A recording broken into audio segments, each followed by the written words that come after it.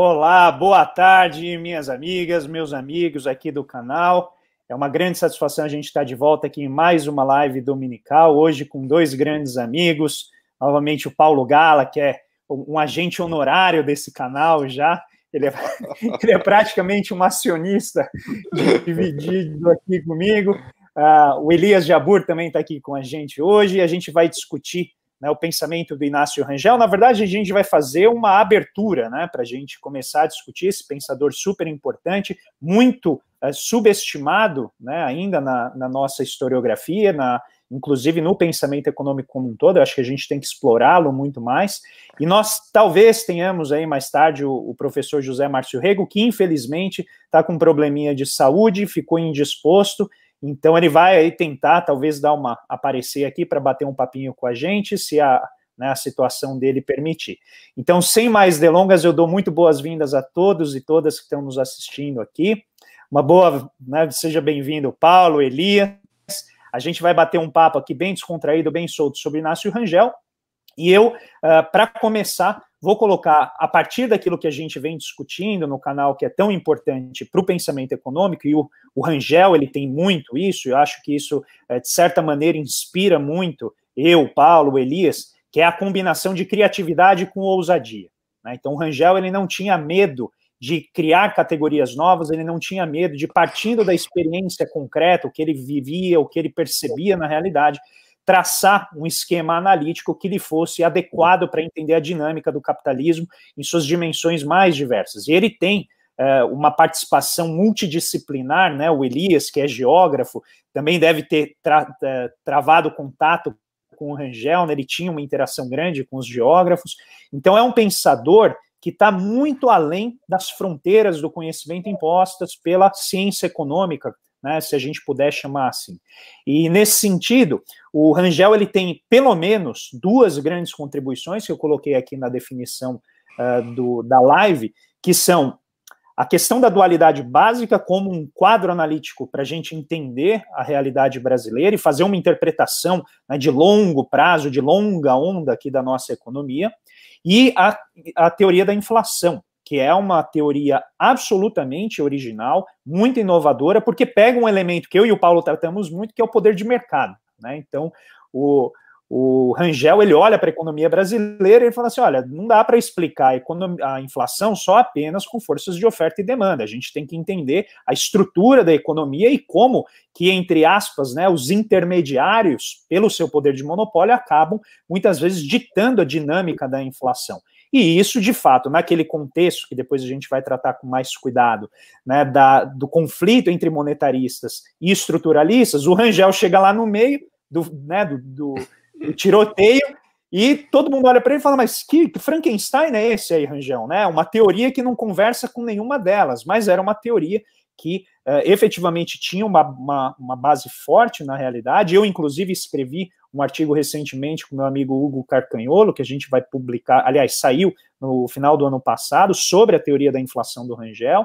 Então, a, a gente tem pelo menos essas duas grandes contribuições. E o Elias, recentemente, né, se apropriou do Rangel integralmente, falou: ele é meu, ninguém mais agora usa, e eu vou pegar o Rangel e fazer o seguinte: eu vou pegar a teoria dele, da economia do projetamento, eu vou explicar a China a partir desse arcabouço analítico. E aí o Elias sacudiu né, toda a profissão do economista aqui no Brasil para discutir esse ponto e começou a levar esse efeito lá para fora, tem tido né, um, um, sucesso muito grande em discutir a economia chinesa a partir desse arcabouço analítico do Rangel. Então é com muita satisfação, com muita honra que a gente faz essa homenagem a esse grande mestre, que certamente vai ser apenas a primeira. Então com isso eu dou as boas-vindas a todo mundo e passo imediatamente a palavra para o Paulo.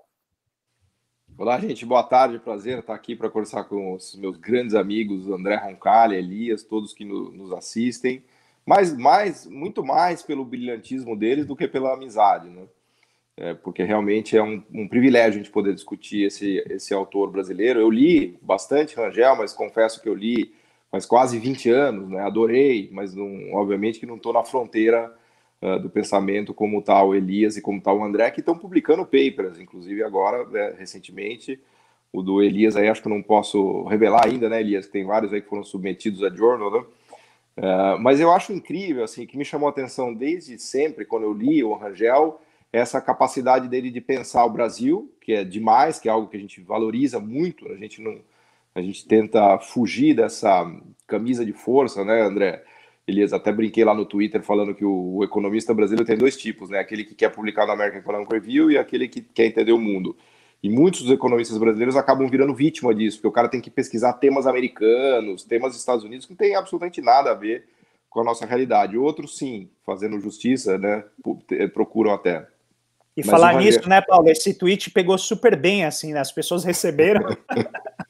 Cara, claro, não, é tweet, é verdade, é não, verdade. Esse tweet, eu não sei se o Elias viu, porque ele serviu muito a carapuça, cara, porque veio um monte de gente no tweet falando, não, não, eu publiquei na American Review e, e, e tô, me interesso pela realidade e tal. Então pegou fundo, né, porque é aquela coisa do, do vestir a carapuça, né? Eu tava fazendo um comentário genérico, e, e é, vocês me conhecem, vocês sabem que eu penso assim, imagino que vocês é, tenham encontrado esses dois tipos de economista, mas o que, é, o que é incrível do Rangel, da criatividade, de pensar o Brasil, mas de, de de usar a economia como uma ferramenta de pensamento, né? Porque os sistemas analíticos são sistemas que te ajudam a pensar o mundo, né? E, e, é legal ver como o Rangel usa isso, ele tem um compromisso, vamos dizer assim, ferrenho com, com o Brasil e com a, com a ideia né, de entender o mundo, e para ele não, há, não existe um apego teórico, né, de falar, puta, eu preciso usar essa teoria, preciso usar aquela, preciso usar aquela outra. Ele usa as teorias para entender o mundo. Né? Os sistemas analíticos são feitos para entender o mundo. Os sistemas analíticos não são descrições da realidade que, que viram, vamos dizer assim, quase religiões e que você se apega né, e acha que o mundo é descrito por aquele sistema analítico. O sistema analítico ele nunca descreve o mundo, ele é uma ferramenta de pensamento. Obviamente que vocês podem discordar de mim, mas na minha cabeça um sistema analítico é uma ferramenta de, de pensamento para você entender o mundo. E no Rangel você vê claramente isso, como ele vai combinando vários elementos, keynesianos, marxistas, e misturando aquilo, teoria da uh, organização industrial, concentração de mercado, teorias de inflação, e ele constrói um, um, uma caixa de ferramentas riquíssima né, para entender especialmente o Brasil. Né? Então, eu acho demais a gente ter essa oportunidade aqui de conversar um pouco sobre essas ferramentas rangelianas, né, para entender o mundo com, com dois grandes economistas que estão usando isso para já, né, e, e pesquisando e publicando é, na fronteira sobre esse tema. Então, vamos lá, prazer enorme estar aqui para conversar com vocês todos sobre, sobre esse tema. Eu tenho várias perguntas na manga aqui que eu vou guardar para daqui a pouco. Maravilha, Paulo. Grande Elias, suas colocações iniciais. Vamos lá, meu querido. Bem, eu primeiro agradecer estar com dois grandes amigos que já se transformaram em irmãos meus nos últimos meses, nesse ano em particular, que é o André e o Paulo. Espero que o Zé Márcio Rigo apareça aqui para também para dar uma contribuição, até porque ele teve uma convivência mais próxima com o Rangel mesmo, de fato, e por, e por muitos anos, né? E dizer que também a, a mim, em particular, toca, toca muito fundo essa coisa do Rangel, porque eu vou aqui já começar o debate, Paulo, se você me permitir, a forma como eu conheci o Rangel, é, eu tinha na época 18 anos de idade, ou seja, era um ultra radical de esquerda, de como como vocês devem imaginar, eu tô 44, imagine eu com 18, né? e o Rangel. Ele agora, você é só, agora você é só radical, você não é mais ultra. Só radical, só radical. só radical. É, então eu vi foi um debate na USP que num dia foi o Furtado falar sobre CEPAL, né? E já contei essa história várias vezes, vou contar de novo. Um dia foi o Furtado falar, e outro dia foi o Rangel falar. E é evidente que o Rangel tinha dificuldade de falar, uma coisa que, que suou muito, que é, jogou muito contra ele ao longo do tempo, além dele, ter, além dele ser maior do que os estruturalistas e os monetaristas, sob o ponto de vista particular, e isso levou ao, ao ostracismo no país como o Brasil, é que ele falava muito mal, né? Tinha dificuldade de falar, né?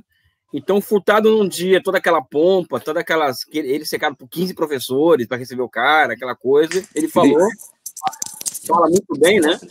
Falava muito bem. E outro dia foi o Rangel falar aquela, aquela dificuldade toda. E eu, no meu, no, no, meu ponto de vista, eu percebi entre os dois quem era o gênio dos dois. Para mim, o, o Rangel era o gênio.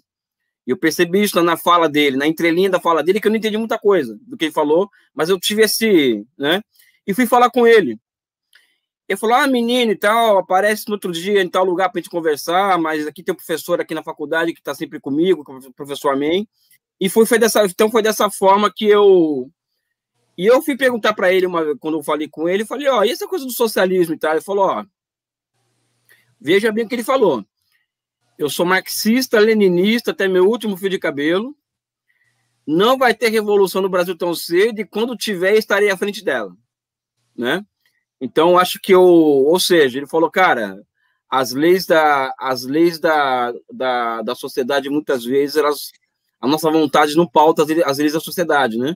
E eu acho que essa ideia, por exemplo, de pensar fora dos esquemas, fora das caixinhas e fora do, e fora do marxismo oficial, do keynesianismo oficial, do estruturalismo oficial, do monetarismo oficial, foi o que fez do Rangel, sob o ponto de vista particular, tanto o maior pensador brasileiro do século XX, quanto o marxista mais destacado que a América Latina criou na, na, época dele. E também eu acho que na década de 60 ele foi o maior, o maior economista do mundo, inclusive, né? Sobre também meu ponto de vista particular, ou seja, estou colocando algumas palavras, fazendo algumas hipérboles aqui para chamar a atenção para o debate, né? Mas é isso, vamos lá. Maravilha, Elias. Eu vou, antes da gente entrar nos temas, eu vou fazer algumas sugestões de leitura aqui para o pessoal. O pessoal sempre me pede, né? Então, eu vou só centralizar aqui a minha câmera. A primeira delas que eu gostaria de sugerir é este livrinho pequeno, que ele é base na, no estudo em economia brasileira, da Beth Midwin-Laffer, Planejamento no Brasil. Em particular, ele tem o, a discussão que o Celso Laffer faz sobre o plano de metas, é muito interessante do ponto de vista organizacional, e a a apresentação da Beth Mindlin também é muito boa. Uh, o segundo que eu gostaria de indicar é este aqui, que o José Márcio Rego, né, que infelizmente não pôde vir. Vamos lá, pessoal, torcer aí para ele poder aparecer aqui. Uh, e com o professor Armin Mamigonian, né, acho que é assim que fala. Armin Mamigonian. Mamigonian. Eles escreveram esse, na verdade, isso aqui é um retrato de, uma, de um simpósio que eles fizeram em 94 né, sobre o pensamento do Rangel. O Rangel deveria participar, mas ele faleceu antes acho que ele falece em março, né, Elias? E esse Sim. simpósio ele ocorreu alguns meses depois. Então foi uma grande tristeza para todo mundo, porque seria a oportunidade de ele aparecer ali. Então existe a, ali o, a compilação das palestras de vários autores que conhecem bastante o Rangel. Muito interessante, a gente vai falar um pouquinho uh, desse livro. E o último que eu queria indicar é este, né, Inácio Rangel, um elogio à ousadia, que tem uma série de artigos do próprio Rangel, que ele publicava em várias revistas, em, em jornais, vale muito a pena ler, é um, um, livro muito bem feito, uma compilação muito interessante, que conta com a abertura do Luciano Coutinho e do José Antônio Pereira de Souza, ambos do BNDES à época. Tá? Então, feita essa, essas dicas de leitura, depois eu posso deixar os nomes direitinho na descrição para vocês, Tá? Eu queria é, começar, se vocês me permitissem, com uma provocação que está inclusive neste livro aqui, que é feita, Elias, em cima da capacidade do, do Rangel de teorizar né, de uma maneira, vamos dizer assim, um tanto livre, né?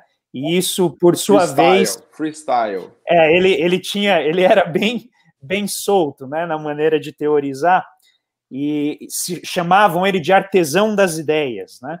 Então eu quero começar lendo uma, um trecho aqui, Elias, que eu acho que você vai se identificar muito. O Elias ele ele leu Rangel com coração também, né, Elias? Porque o Rangel claro. ele tinha uma, uma capacidade grande de, de penetrar o, aquilo que não era claro, né? Então Rangel dizia, o texto diz assim: o Rangel foi um artesão das ideias. Ele não só levantou novas questões, como deu novas respostas, deu novos conceitos. Por exemplo, um bom estudante no início dos anos 70, se tivesse um bom conhecimento, lia Rangel e ficava doidinho. Aparentemente, só, não só nos anos 70, hein, Elias? Ficava doidinho, porque não encontrava correspondência, não encontrava também na obra nenhuma citação, nenhuma referência onde se apoiar. Como? No final do livro não tem lista bibliográfica. Fica perdido porque é um monólogo. A obra de Rangel é uma obra muito solitária e não tem correspondência clara. Você tem que fazer sempre as mediações, tem que sempre fazer as relativizações. E aí, só para concluir, dizia, ele ia construindo uma teoria utilizando conceitos que ele mesmo ia definindo, ou se apropriando de conceitos que ele utilizava e considerava adequados, o que provoca uma imensa dificuldade para qualquer pessoa que tem uma formação acadêmica e que não tem paciência e humildade ao se deparar com o texto para entender a razão implícita do autor. As pessoas se confundem com as categorias utilizadas. No caso dos esquemas de dualidade, isso é uma coisa absolutamente presente. Elias, provocação para você aí, o que, que, você acha? Eu vou te dar um exemplo do seguinte: o, o Rangel ele ele tinha uma visão. Ele, primeiro que ele, ele, quando falava de teoria econômica, ele dizia que cada teoria econômica, ela, aliás, eu falo isso repetindo o Rangel. As teorias econômicas ela, elas refletem determinados é, modos de produção e suas ou suas evoluções. Né? Então, o liberalismo clássico ele ele é, o Adam Smith e o Ricardo, eles espelhavam o capitalismo da época da época X, o marxismo da, da é, de outro jeito, o keynesianismo é a economia monetária de produção e assim sucessivamente. E, e, e isso para explicar o projetamento, que para eles seria um, um modo, um, um, modo de produção que estava surgindo na União Soviética e no, e no Ocidente, na, na, Europa Ocidental, apesar da União Soviética ser a sua expressão maior, né? E ele usava o termo do seguinte: olha, existe o aspecto, a ciência econômica tem duas, tem duas linhas de evolução, uma nominal e a outra fenomenal. Isso aqui é Kant, claramente Kant. Só que quando você vai olhar essa coisa do nominal e fenomenal, o Rangel ele, ele transforma o Kant no Hegel, porque ele historiciza em cima de conceitos que não são historicizantes é, na sua forma original. Ou seja, Kant, por exemplo, não tinha essa noção é, historicizante dos conceitos. Então, o nominal e o fenomenal para o Kant era uma coisa, e o Rangel transforma isso em uma coisa completamente diferente em outra, né? que é uma, uma hegelianização do Immanuel Kant, ou seja, somente o Rangel faz uma loucura dessa, né? E a partir disso, e a partir disso ele transforma o eu acho que ele provoca uma revolução na minha cabeça, porque nós estamos acostumados a ver a, ver a teoria econômica da seguinte forma: cada teoria é melhor, é uma, é, ela é, no máximo, a melhor representação de uma realidade já existente. Então, o Marx explicou uma realidade melhor que o, que o Adam Smith o Ricardo, o Keynes foi melhor que esse, que aquele, ou seja, não, não, não vê uma continuidade histórica entre os autores e as teorias. E, nesse sentido, o Rangel nos contribui para que nós observemos com mais, com mais generosidade os nossos antecessores, né? Então, no meu, para mim, o Marx não era o anti Adam Smith, o anti Ricardo, ele é a superação do Adam Smith e do Ricardo. E assim sucessivamente, ou seja, ele dá uma possibilidade para que nós sejamos mais generosos com os nossos mestres, com, nossos, com os que vieram atrás da gente, que sem eles nós não existiríamos, né? E isso é muito bom para os jovens que são hoje, tem uma massa de jovens assim que se acham muito geniais e muito incompreendidos, né? Ou seja, então eles existe aquela coisa do Harold Bloom, da angústia da influência, as pessoas elas, elas aparecem, é, colocam as ideias na mesa e não falam de onde elas tiram as, as, ideias, porque elas têm angústia de influência. Elas têm medo de falar de quem as influenciou, né?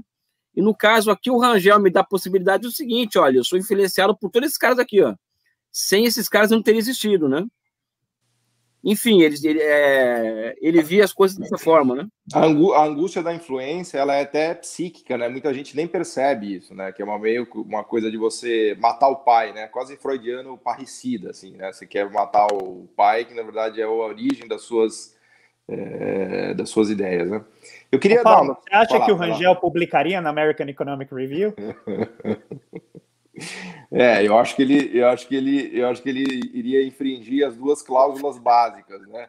Que a número um é, é pensar o Brasil e a número dois é publicar sobre temas relevantes, né? Até porque eu preciso, refa eu preciso refazer a minha crítica, porque muita gente de fato me mandou vários papers que foram publicados na American Economic Review tratando de Brasil.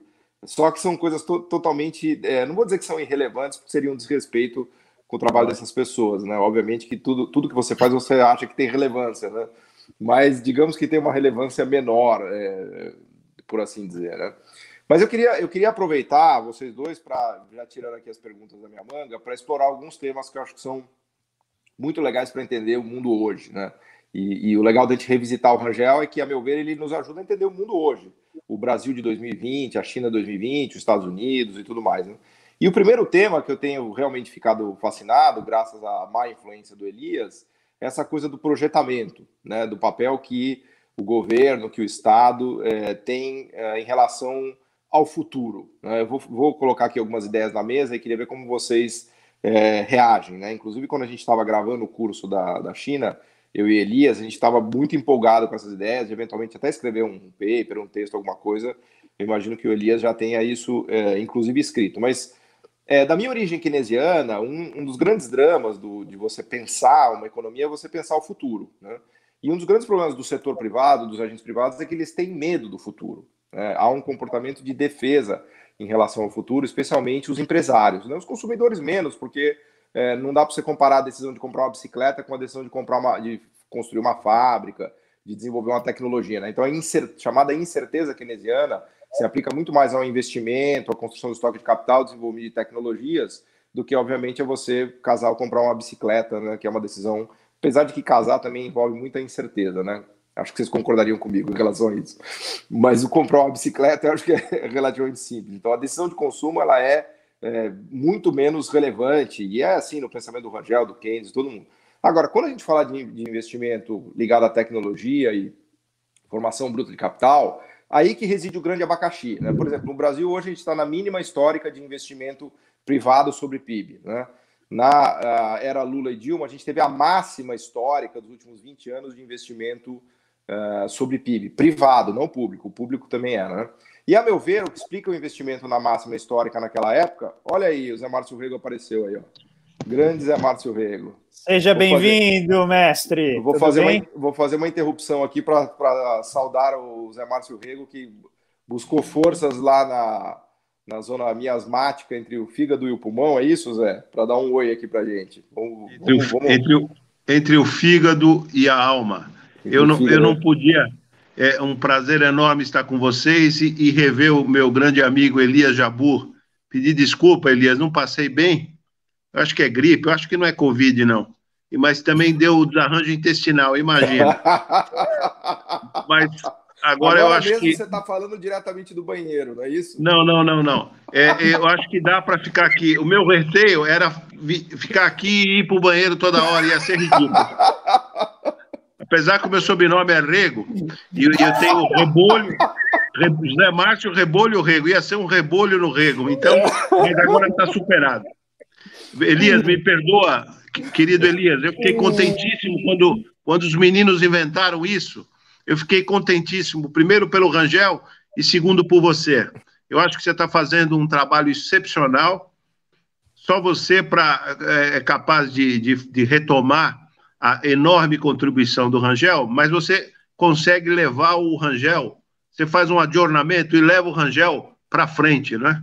É... Deixa, deixa, eu só, deixa eu só, Zé, aproveitar que eu vou, eu vou, não vou voltar na minha parte chata, daqui a pouco eu volto, porque realmente acho que é um tema legal, mas só aproveitando que você está aqui conosco, e fica à vontade para ir lá para o gabinete real de leitura quando você precisar, tá? Você, não, você pode entrar e sair e desligar tranquilo, mas se você puder dar algum relato para gente da, da convivência com o Rangel, da pessoa Rangel, a gente estava falando aqui. O Elias, Isso, Zé, até falei Elias, do, teu, é, do livro. A gente já falou do livro, e, e, você, provavelmente, com certeza, de nós três aqui, é quem mais conheceu o Rangel pessoalmente, conviveu com ele. Então, se você puder falar alguma, alguma enfim, história, é, algum, contar um pouquinho para a gente isso, depois a gente volta na, na vaca tá fria, bom. que são os temas chatos econômicos. Olha, eu acho que teve, teve uma pessoa que teve até um contato maior do que, do que eu tive, eu tive um contato grande, sim, com ele, mas um contato tão grande quanto o meu, mas uma dimensão tempor, temporal maior,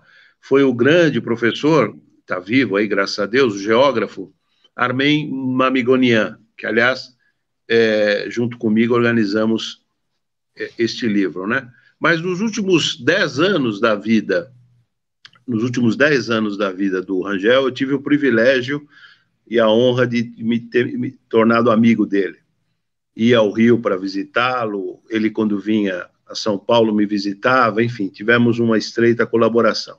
É, aliás, conheci através do Bresser Pereira, não é? Meu orientador, meu, meu é, enfim, a pessoa que mais me influenciou e que dividimos cursos, interpretações sobre o Brasil durante 20 anos ainda. Vocês, chegaram a fazer a. Vocês não entrevistaram ele para Conversas com Economistas, não, né? Vocês fizeram um livro em homenagem a ele, que foi o. Não, quando nós fizemos. Quando nós, é, quando nós fizemos o livro, infelizmente ele já, já havia falecido.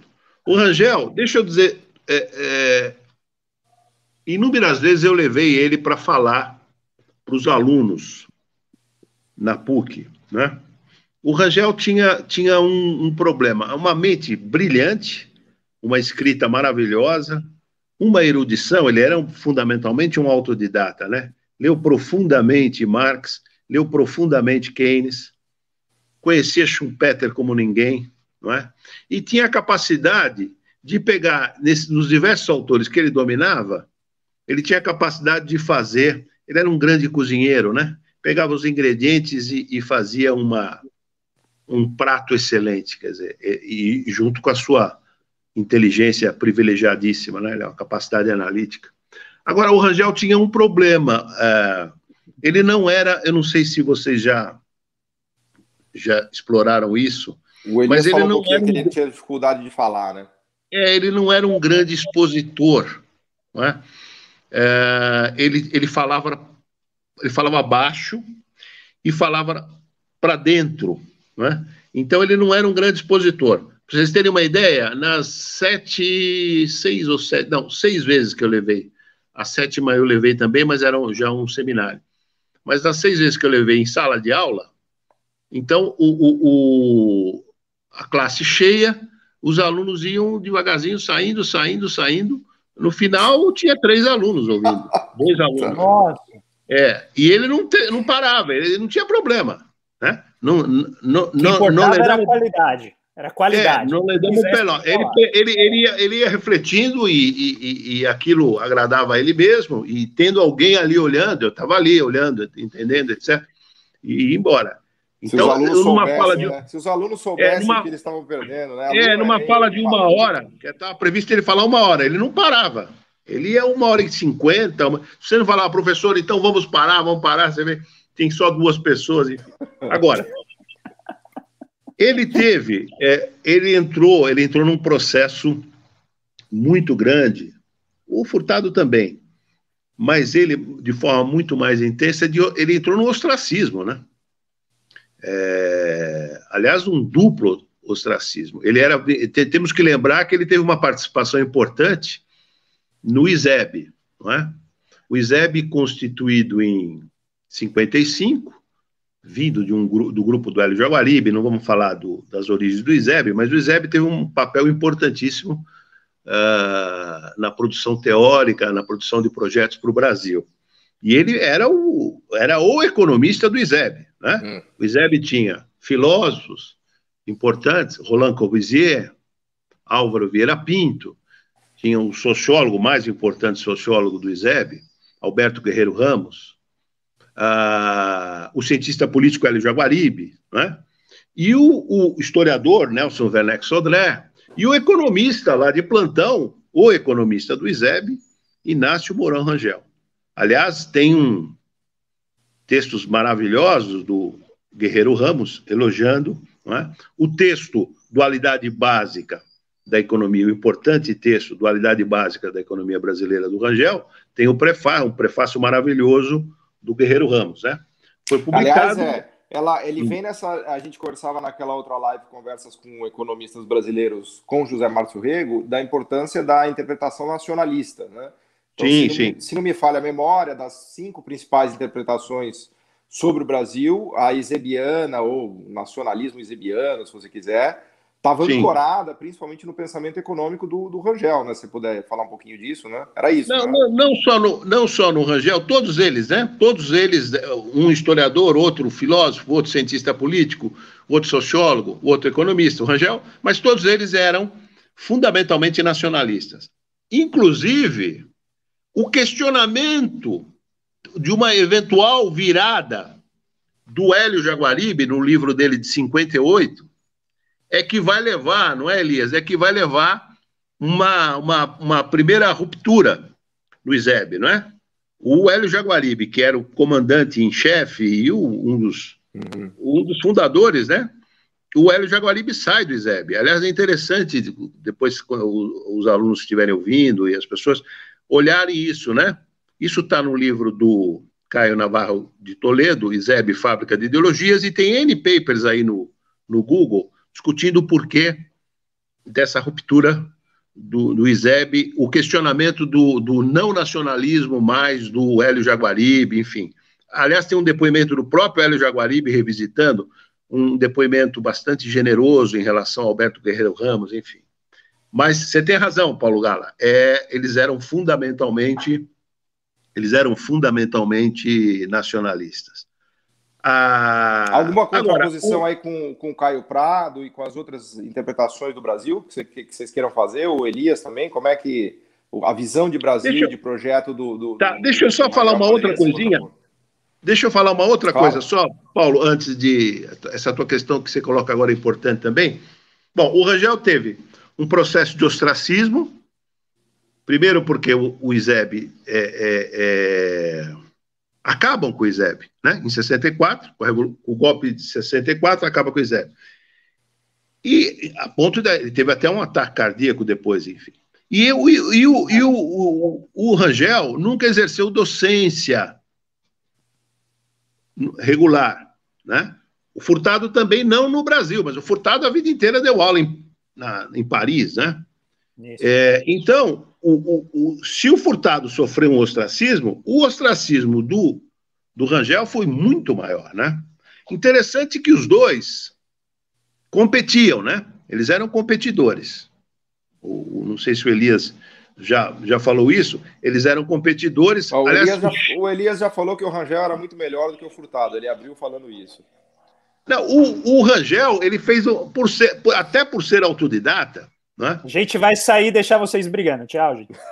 não, não, não, fica aí. Eles, ele, ele, ele, até por ser autodidata, ele tinha uma, ele tinha uma leitura mais ampla do que o, do que o Furtado, não é?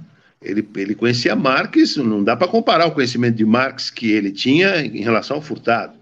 Fez uma leitura de Keynes profunda, uma leitura profunda de Schumpeter. Então, o, o arcabouço teórico, né, o repertório de, de, história do pensamento econômico do, do Rangel era superior, a, eu ouso dizer que era superior ao do Furtado. Eles competiam, eles competiam. Aliás, o Chico de Oliveira, nesse livro aí, em outros artigos, registra essa, que eles eram competidores. Agora, o, o Rangel, é, é, vejam que interessante. Como é que ele surge na. Ele, ele vem do Maranhão, ele ficou oito anos em domicílio quarto, ele não, é, não podia sair, é uma, é uma prisão domiciliar, não é? E ele consegue, havia, ia ter um encontro da CONCAP, né? encontro das classes produtoras aqui no, no Rio de Janeiro, e ele consegue é, tirar uma identidade e ter uma autorização pela Associação Comercial lá do Maranhão, ele vem para o Rio.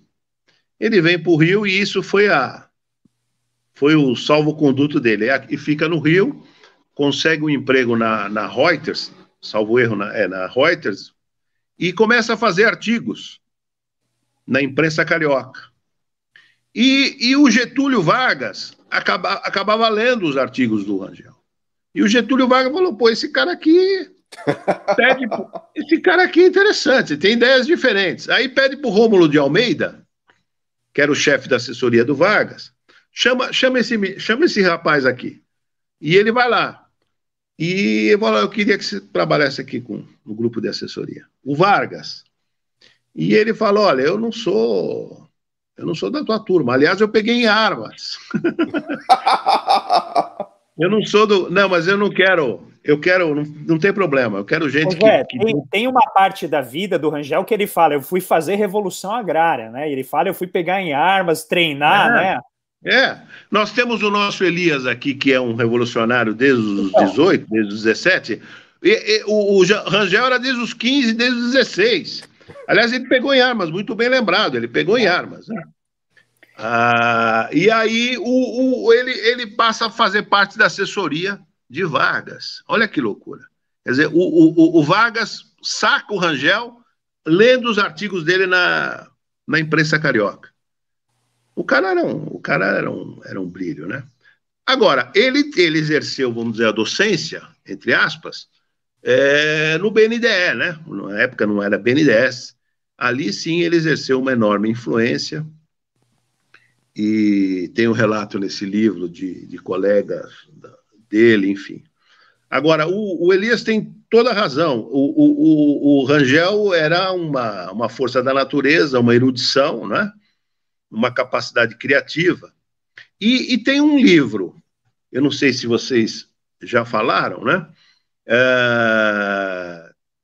Bom, tem, tem três livros que eu queria destacar. Além do conhecidíssimo Inflação Brasileira, que não, não vamos falar aqui, que eu acho que não é o caso, mas ah, tem o livro Introdução ao Desenvolvimento Econômico do Brasil, brasileiro, né? Que isso daqui é basicamente as reflexões. Foi da sua, sua editora, foi você que editou, sim, foi? Bienal. Sim. É, esse é, esse é um livro que é um pouco produto, eu não sei se o Elias já falou, do, dele ficar, ele ficar oito meses na CEPAL. Né? É, bom, tem o Dualidade Básica, que é de uma maior importância, e tem um livro que o, o, isso é mérito do Elias, né? Ter percebido a importância desse livro, apesar que o Rangel já ele mesmo fala que ele considera esse livro o mais importante, é, não obstante ele ter sido consagrado com a inflação brasileira, deixa, desculpa, que é a economia do deixa economia do projetamento, né? Economia do projetamento. Eu Vamos dar isso Fala, é, Paulo. Eu queria interromper e pedir para o Elias, assim, se ele tiver a generosidade de dar uma mini aula para a gente, de não mais do que cinco minutos, do que é a economia do projetamento, para as pessoas entenderem que estão assistindo a gente, para a gente poder debater um pouquinho nisso, porque eu concordei finalmente com o Elias que realmente esse conceito é um conceito fundamental. Eu é, até eu tenho falado muito da Mariana Mazzucato, que acabou de ganhar um prêmio com o livro dela com toda essa discussão da importância do Estado na coordenação de expectativas de investimento. E o Elias fala, Paulo, para, cara, o Rangel já falou tudo isso lá nos anos 50. Para de falar de Mazucato e fala de Rangel. Então, se o Zé me permitir, antes que ele é, vá lá para o gabinete real, vamos ouvir um pouquinho o Elias, se ele puder falar quatro, cinco minutinhos para a gente, de maneira bem resumida, do que tem nesse livro aí, Zé, para as pessoas é, entenderem, para a gente poder reagir um pouquinho, que eu acho que é um tema muito muito Excelente. relevante, o André. Eu te cortei. Eu, você que é o, vou pedir para você aqui. falar, porque esse livro ele não é o livro mais famoso do Rangel, né? O Inflação Brasileira é o grande hit do Rangel. E você foi encontrar esse livro. Como é que você chegou nesse livro e como que ele transformou, né, o teu entendimento para me explicar a China, que era algo que na, no momento que foi escrito não era em si um fenômeno que estava já tomando as atenções como está tomando não, hoje. Nem existia, né, para falar a verdade.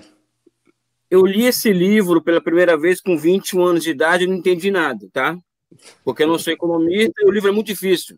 É o difícil. livro é extremamente difícil para economistas, entendeu? Não é uma coisa que é. Você se identificou com a leitura que eu fiz aqui daquele trecho, né? Sim. Você, você e, se viu lendo de novo. Sim. Ah, só que é o seguinte, eu comecei a. Eu li esse livro uma vez com, com essa idade, eu fui lendo duas, três. Na oitava vez, eu acho, eu percebi que, opa. existe coisas aqui que não, é, que não são brincadeira aqui nesse livro, tá? Mas deixei lá, deixei quieto e tal, não li mais.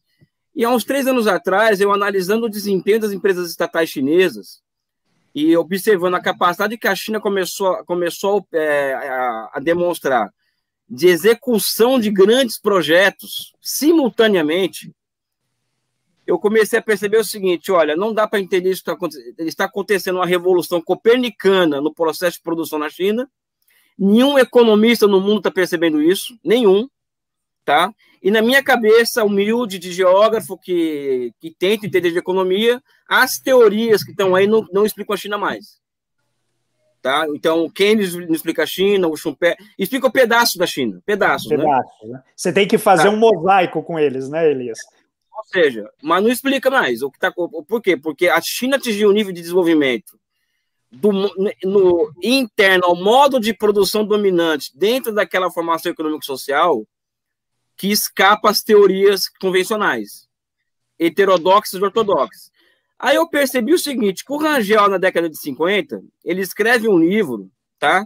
Em que ele, em que ele relata regularidades econômicas, tanto na União Soviética quanto na, na, quanto na reconstrução europeia, tá? Que, se, que serviam de convergir, que convergiam né, entre si essas duas, esses dois lados da cortina de ferro, Tá? E qual que é, e qual que é a, o, o que, que se converge aí? O que se converge é o seguinte: são economias em que a lei do valor elas são restringidas ao máximo a sua ação, e ao restringir ao máximo a sua ação, tá? É, essa economia ela pode executar grandiosos projetos ao mesmo tempo. O que, que é, restringir, lei... o que, que é restringir a lei do valor? Desculpa a minha ignorância no jargão marxista, Elias. É você, é você substituir, por exemplo, as chamadas leis do mercado por uma ação mais direta do Estado, de forma consciente. Tá. Por que, que eu estou dizendo isso? Porque nós falamos muito de fetiche da mercadoria, né?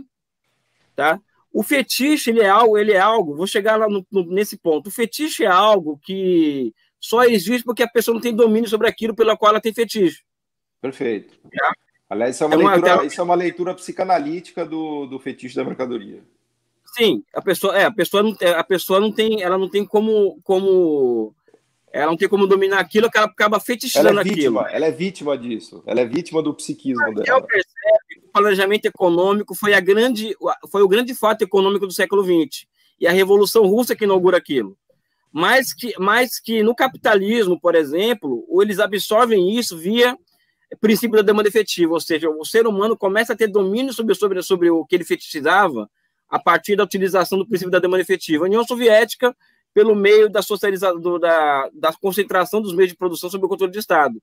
Então, lá e cá, criou-se condições não é, de restringir a ação da lei do valor, ou seja, a lei geral de funcionamento de uma lei capitalista, tá, de, um, de um sistema, de um sistema capitalista, e o Estado passar a, concentrar, a se concentrar em grandiosos projetos. E por que, que ele usa essa ideia de projetamento? Especificamente, por que projetamento? E por que não planejamento? Porque o planejamento é o macro, é o estratégico, é o, é o que aponta para o futuro.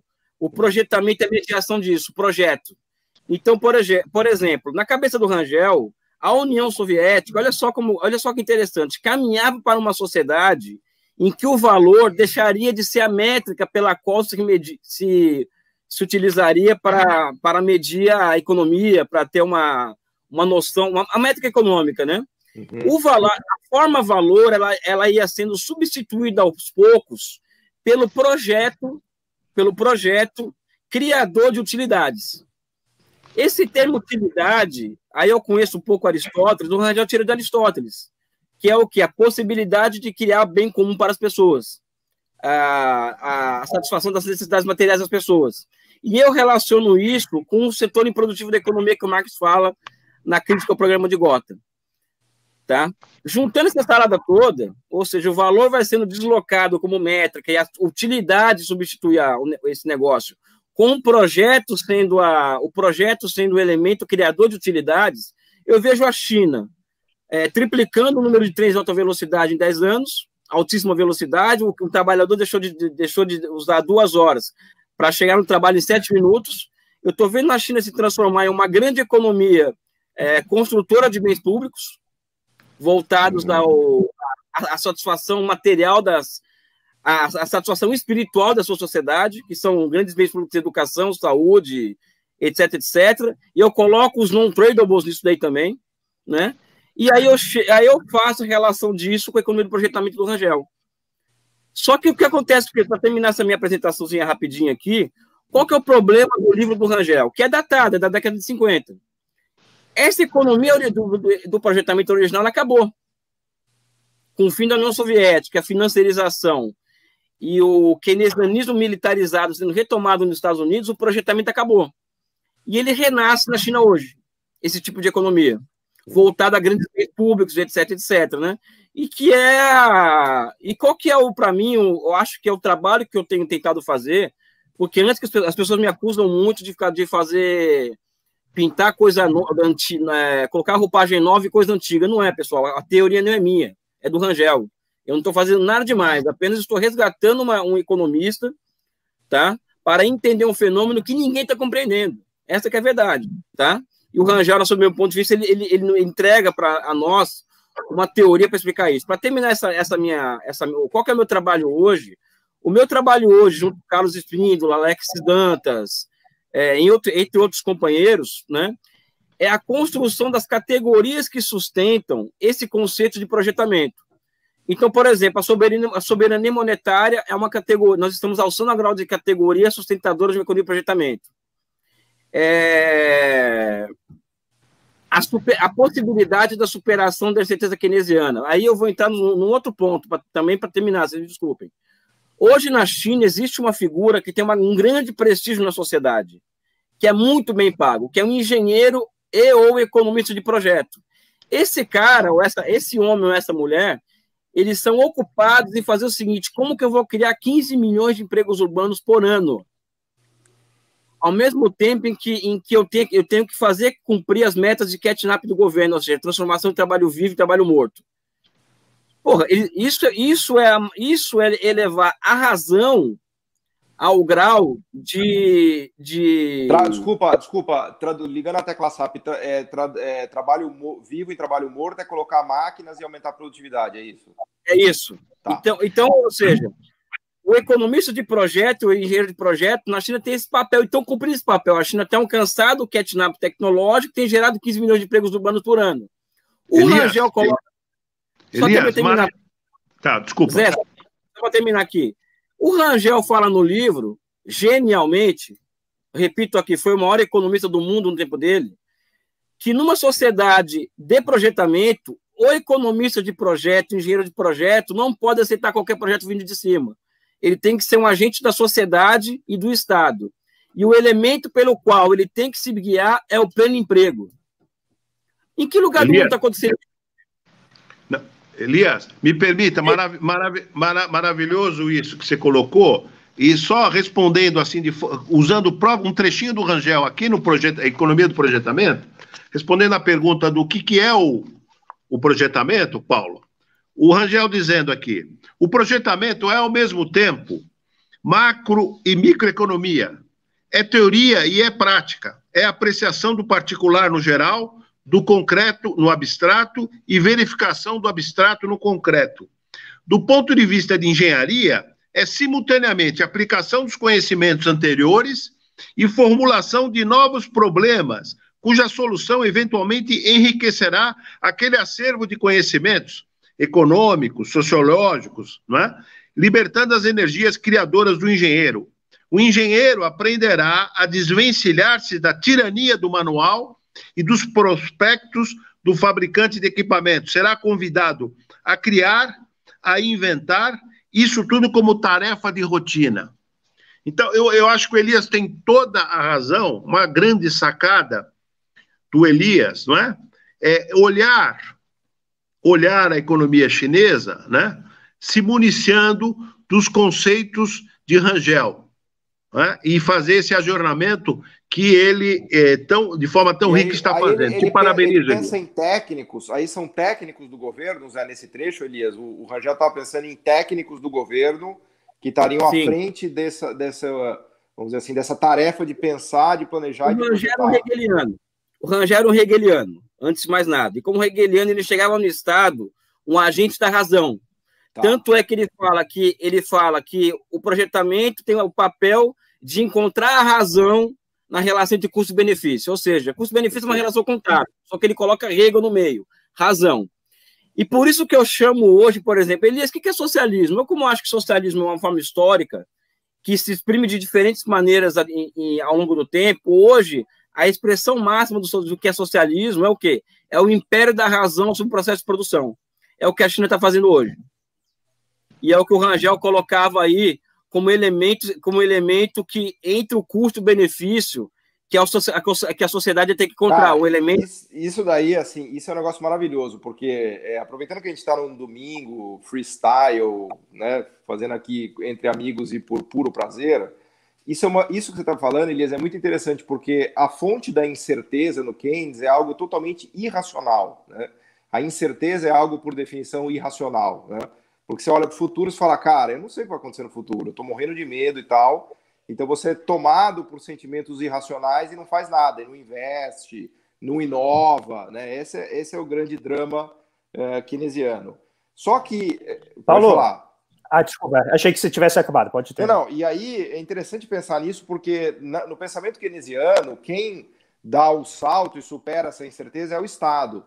O Estado é o único capaz de dar o salto no futuro e colocar racionalidade num sistema irracional. Porque o Estado, via política fiscal, via política monetária, via instrumentos keynesianos, no, na verdade, ele está dando uma resposta para esse medo irracional em relação à incerteza do futuro. Então, nesse sentido, é uma leitura, vamos dizer assim, perfeita do Rangel, usando Keynes também, né? Porque ele sacou aquilo, como você falou, tanto o lance da, da União Soviética quanto a resposta keynesiana são respostas racionais a um futuro incerto que é, desperta medos irracionais. Então, não existe nada que faça mais sentido do que um Estado que seja capaz de planejar e de projetar para tirar essa incerteza dos, dos, empresários. Né? E aí que eu acho legal a coisa da China. A China tem um Estado com 95 empresas de núcleo estatal e que direcionam e que colocam demanda para todos os empresários chineses inovarem, investirem e fazerem empreendimento. Não empreendimento de iFood de bike, empreendimento para fazer uma empresa como a Huawei. Né? Então é fantástico isso que você falou. Eu achei incrível, porque por essa linha psíquica da racionalidade e da irracionalidade e do Estado como um agente racional, dá para explicar muita coisa, né? E tá tudo, de verdade, tá tudo isso lá no Rangel, né? E aí eu quero agora, eu vou fazer, eu vou dar uma guinada nesse debate ainda no mesmo tema. E eu vou pegar o que o Paulo está trabalhando agora e já deixo aqui anunciado para todo mundo que está nos assistindo. Temos já quase 320 pessoas no domingo à tarde acompanhando um debate Boa. sobre Rangel. Viva Rangel!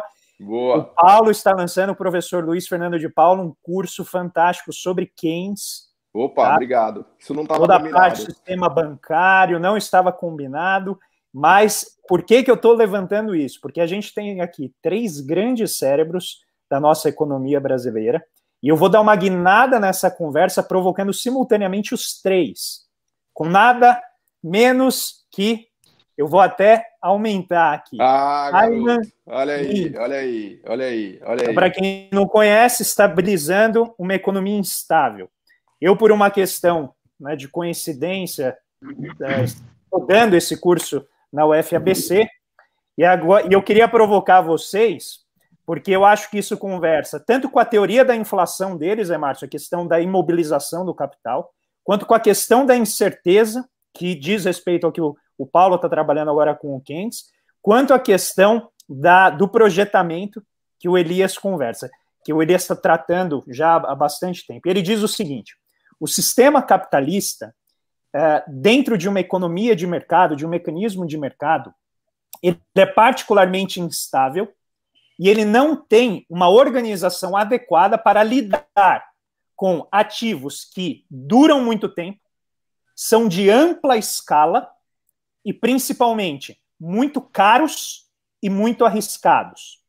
Em essência, ativos que são de longa duração e maturação, de ampla escala, muito caros e arriscados, é a definição de um bem público. Se a gente volta ao segundo PND, a todos os projetos de investimento, a gente essencialmente está lidando com o quê? Com aquilo que o mercado não consegue fazer. E aí, nessa provocação que o Minsk faz, o sol apareceu aqui, que é uma delícia. Ó, oh, brilho. Atrapalha Você, a, a, sua, a, sua, intervenção brilhou tanto oh, que brilhou, brilhou, a careca, tempo. entrou sol, brilhou, olha aí. Deixa eu. O, deixa eu provocar. Deixa eu concluir. Ele não concluiu, ele vai provocar. Deixa eu só concluir, Zé. E aí o Minsky fala que o que acontece? Quando você tem um sistema que é financeiramente instável e você precisa que o investimento seja o móvel da economia e o mercado não gosta de fazer esses investimentos que dão a sustentação, é inevitável que você tenha esses efeitos de oscilação e, de cíclicos, né? efeitos cíclicos ao longo do tempo. Então, eu queria provocar vocês como que vocês conversam com o Inácio Rangel a partir dessa provocação do Minsk. Passo para vocês, Zé. O, o Elias vai responder. Eu vou sair um, um minutinho por tá razões bom, orgânicas, não, não, não intelectuais. A tua pergunta talvez tenha desarranjado meu intestino de novo, mas o, o, o, Elias, o Elias vai responder e eu já volto. Zé, eu acho que você só quer tempo para ir ver a resposta, hein, é, Zé? Vai lá. Pode ser, pode ser. Não, mas eu tô com o celular preso aqui, não é, não? Tá vai lá, Elias. Cara, o que acontece é o seguinte, o. Cara, o Zé Márcio Rego é muito genial, né, cara? além de divertido, além de divertido. Não, cara, ele consegue juntar duas coisas. Ele é um cara que tem uma liberdade de pensamento maluca, É. Resultado, causa e efeito da maluquez dele, entendeu? Sabe? E, e, isso transforma ele numa figura muito especial do ponto de vista pessoal e intelectual, né? É. é enfim, é, quem foi orientado por ele foi você, o, o... Não, não, não fui orientado, não fui orientado, eu fui desorientado. Quem me orientou foi o Bressa, ele me desorientou. Uma coisa que eu queria chamar a atenção para isso é que o, o, Keynes trabalha muito com a noção de com, sem, com, com a questão da capacidade ociosa. O Keynes ele dá um pau na lei de Sé, dizendo que não existe é, essa coisa, utiliza, utiliza essa máxima de fatores e tal, essa coisa toda, e que uma economia de mercado, ela, a regra é a capacidade ociosa. O Rangel toma para si essa questão da capacidade ociosa. É, e como que e como casar essa coisa toda da incerteza, bem público, isso, aquilo, manter uma economia, como diz o Paulo Gala, full time, em princípio da demanda efetiva.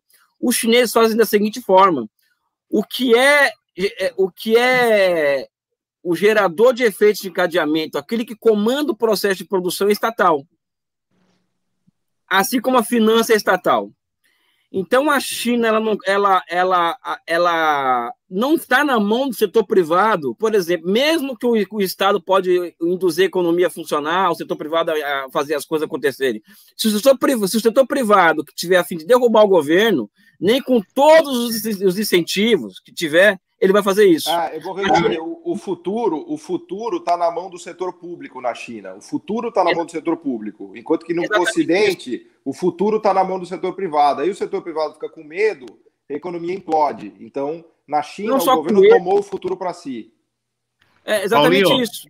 Só um adendo, só um adendo. Na China, o futuro, o presente e o passado está na mão do governo. Né? Uh, lembrar aquela famosa frase: o presente é um furo no futuro por onde o passado começa a jorrar, que muita gente que acha do Keynes, mas é do Raul Seixas, no último LP, A Panela do Diabo. O presente é um furo no futuro por onde o passado Perfeito. começa a jorrar. Perfeitamente. É, é o, o, o Elias tem toda a razão. Essa quer dizer, frase o... aí, você põe, o Zé põe como questão de prova pedindo para o cara citar, dizer quem é o autor. Aí a galera vai lá não, Primeiro, quem... não. Ah, quem é o autor? Dois. Diz aonde está, né? Aí um aluno brilhante, eu não vou falar o nome, que ele hoje é um cara conhecido. Ele vai dar, o autor é Keynes. Está no capítulo 17 da teoria geral. Eu falei, não. A frase é keynesiana, mas o autor não é Keynes. É Raul Seixas, no último LP, A Panela do Diabo. Bom, eu acho que depois dessa, pessoal, é suficiente. Foi um prazer ter vocês aqui. Eu acho que o Zé fechou a live.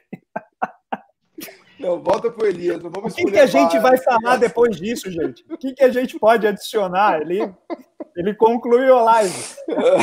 Mas, Elias, continua aí. Vai lá, vai lá. Não, mas, eu, Paulinho, eu, eu ao retornar, eu ao retornar do Gabinete Real Português de Leitura, você volta, você volta eu ouvi. Criativo. Não, eu ouvi você dizendo que eu fui um, te, um teu desorientador. Quase Ai, que caralho. eu volto. Quase que eu volto pro banheiro de novo.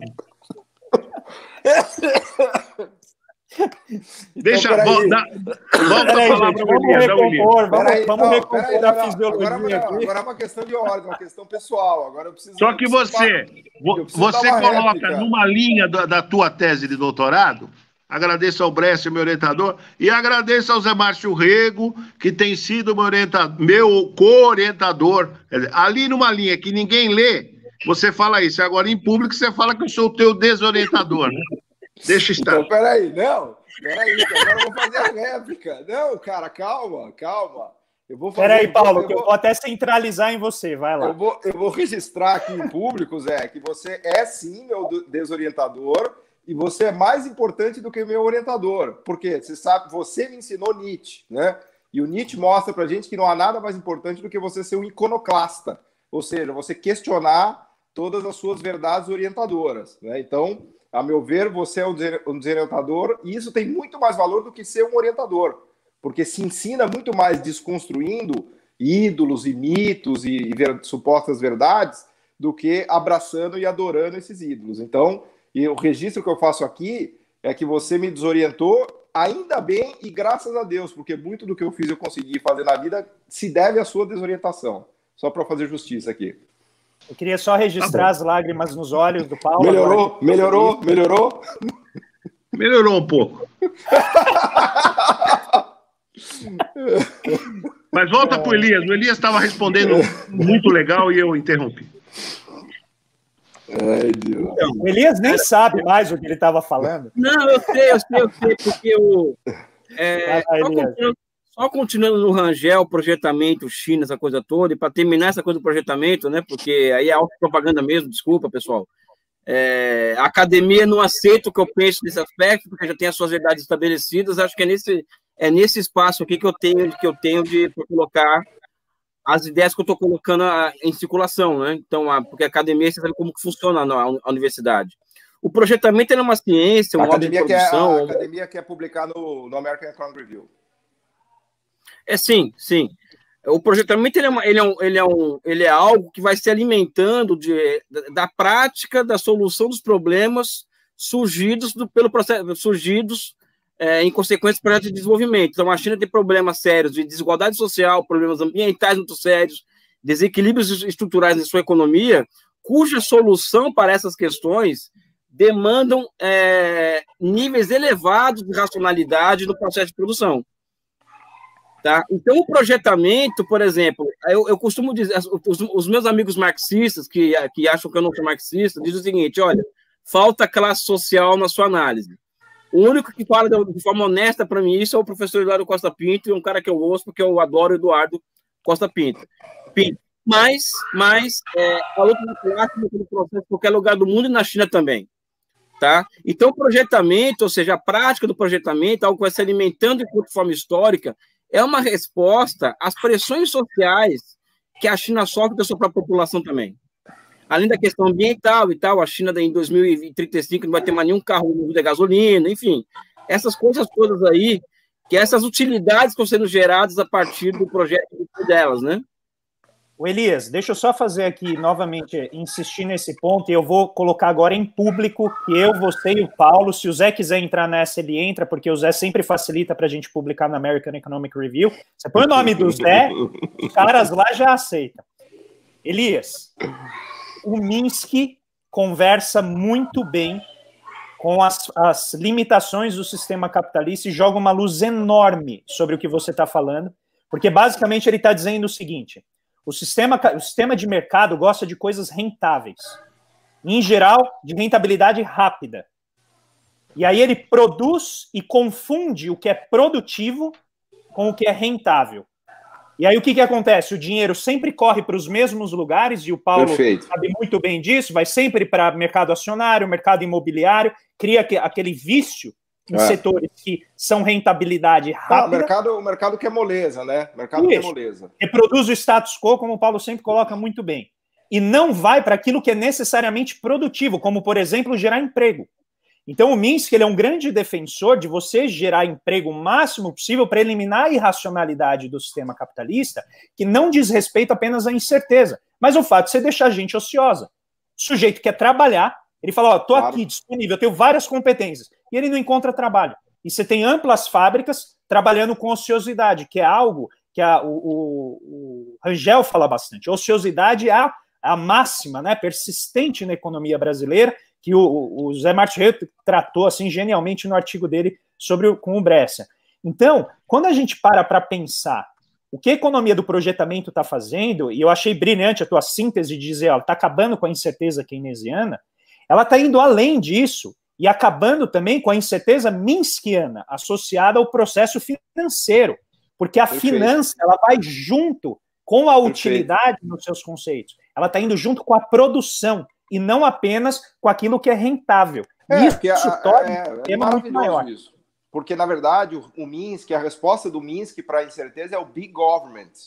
O big government do Minsk é como você resolve o problema da incerteza. Claro, o Minsk é um keynesiano, então ele está dando um passo além do pensamento keynesiano, ele fala, cara, é big banks, big governments. Sem o big government, você não vai superar o problema da incerteza keynesiana, que é a construção do futuro. Que o Elias resgata tão bem lá no Rangel, nessa conceito do projetamento que o Zé nos, inclusive, nos, nos abrilhantou aqui, trazendo o próprio livro. Mas fica aqui já, André, assim, desde o começo do ano que eu e o Elias estamos querendo escrever esse artigo da incerteza keynesiana sendo superada a partir da ideia do, do projetamento uh, e como que isso pode ser visto na China de maneira bem prática e pragmática, mas faltava uma coisa nesse artigo nosso. um cara que. Paulo Gala? É, pode falar. Paulo Gala? Paulo Gala, deixa eu. Me, me, ocorre de trazer aqui uma coisa que eu acho que vai ser didática. Ah, peraí, peraí antes, antes de você trazer, já te devolvo a palavra.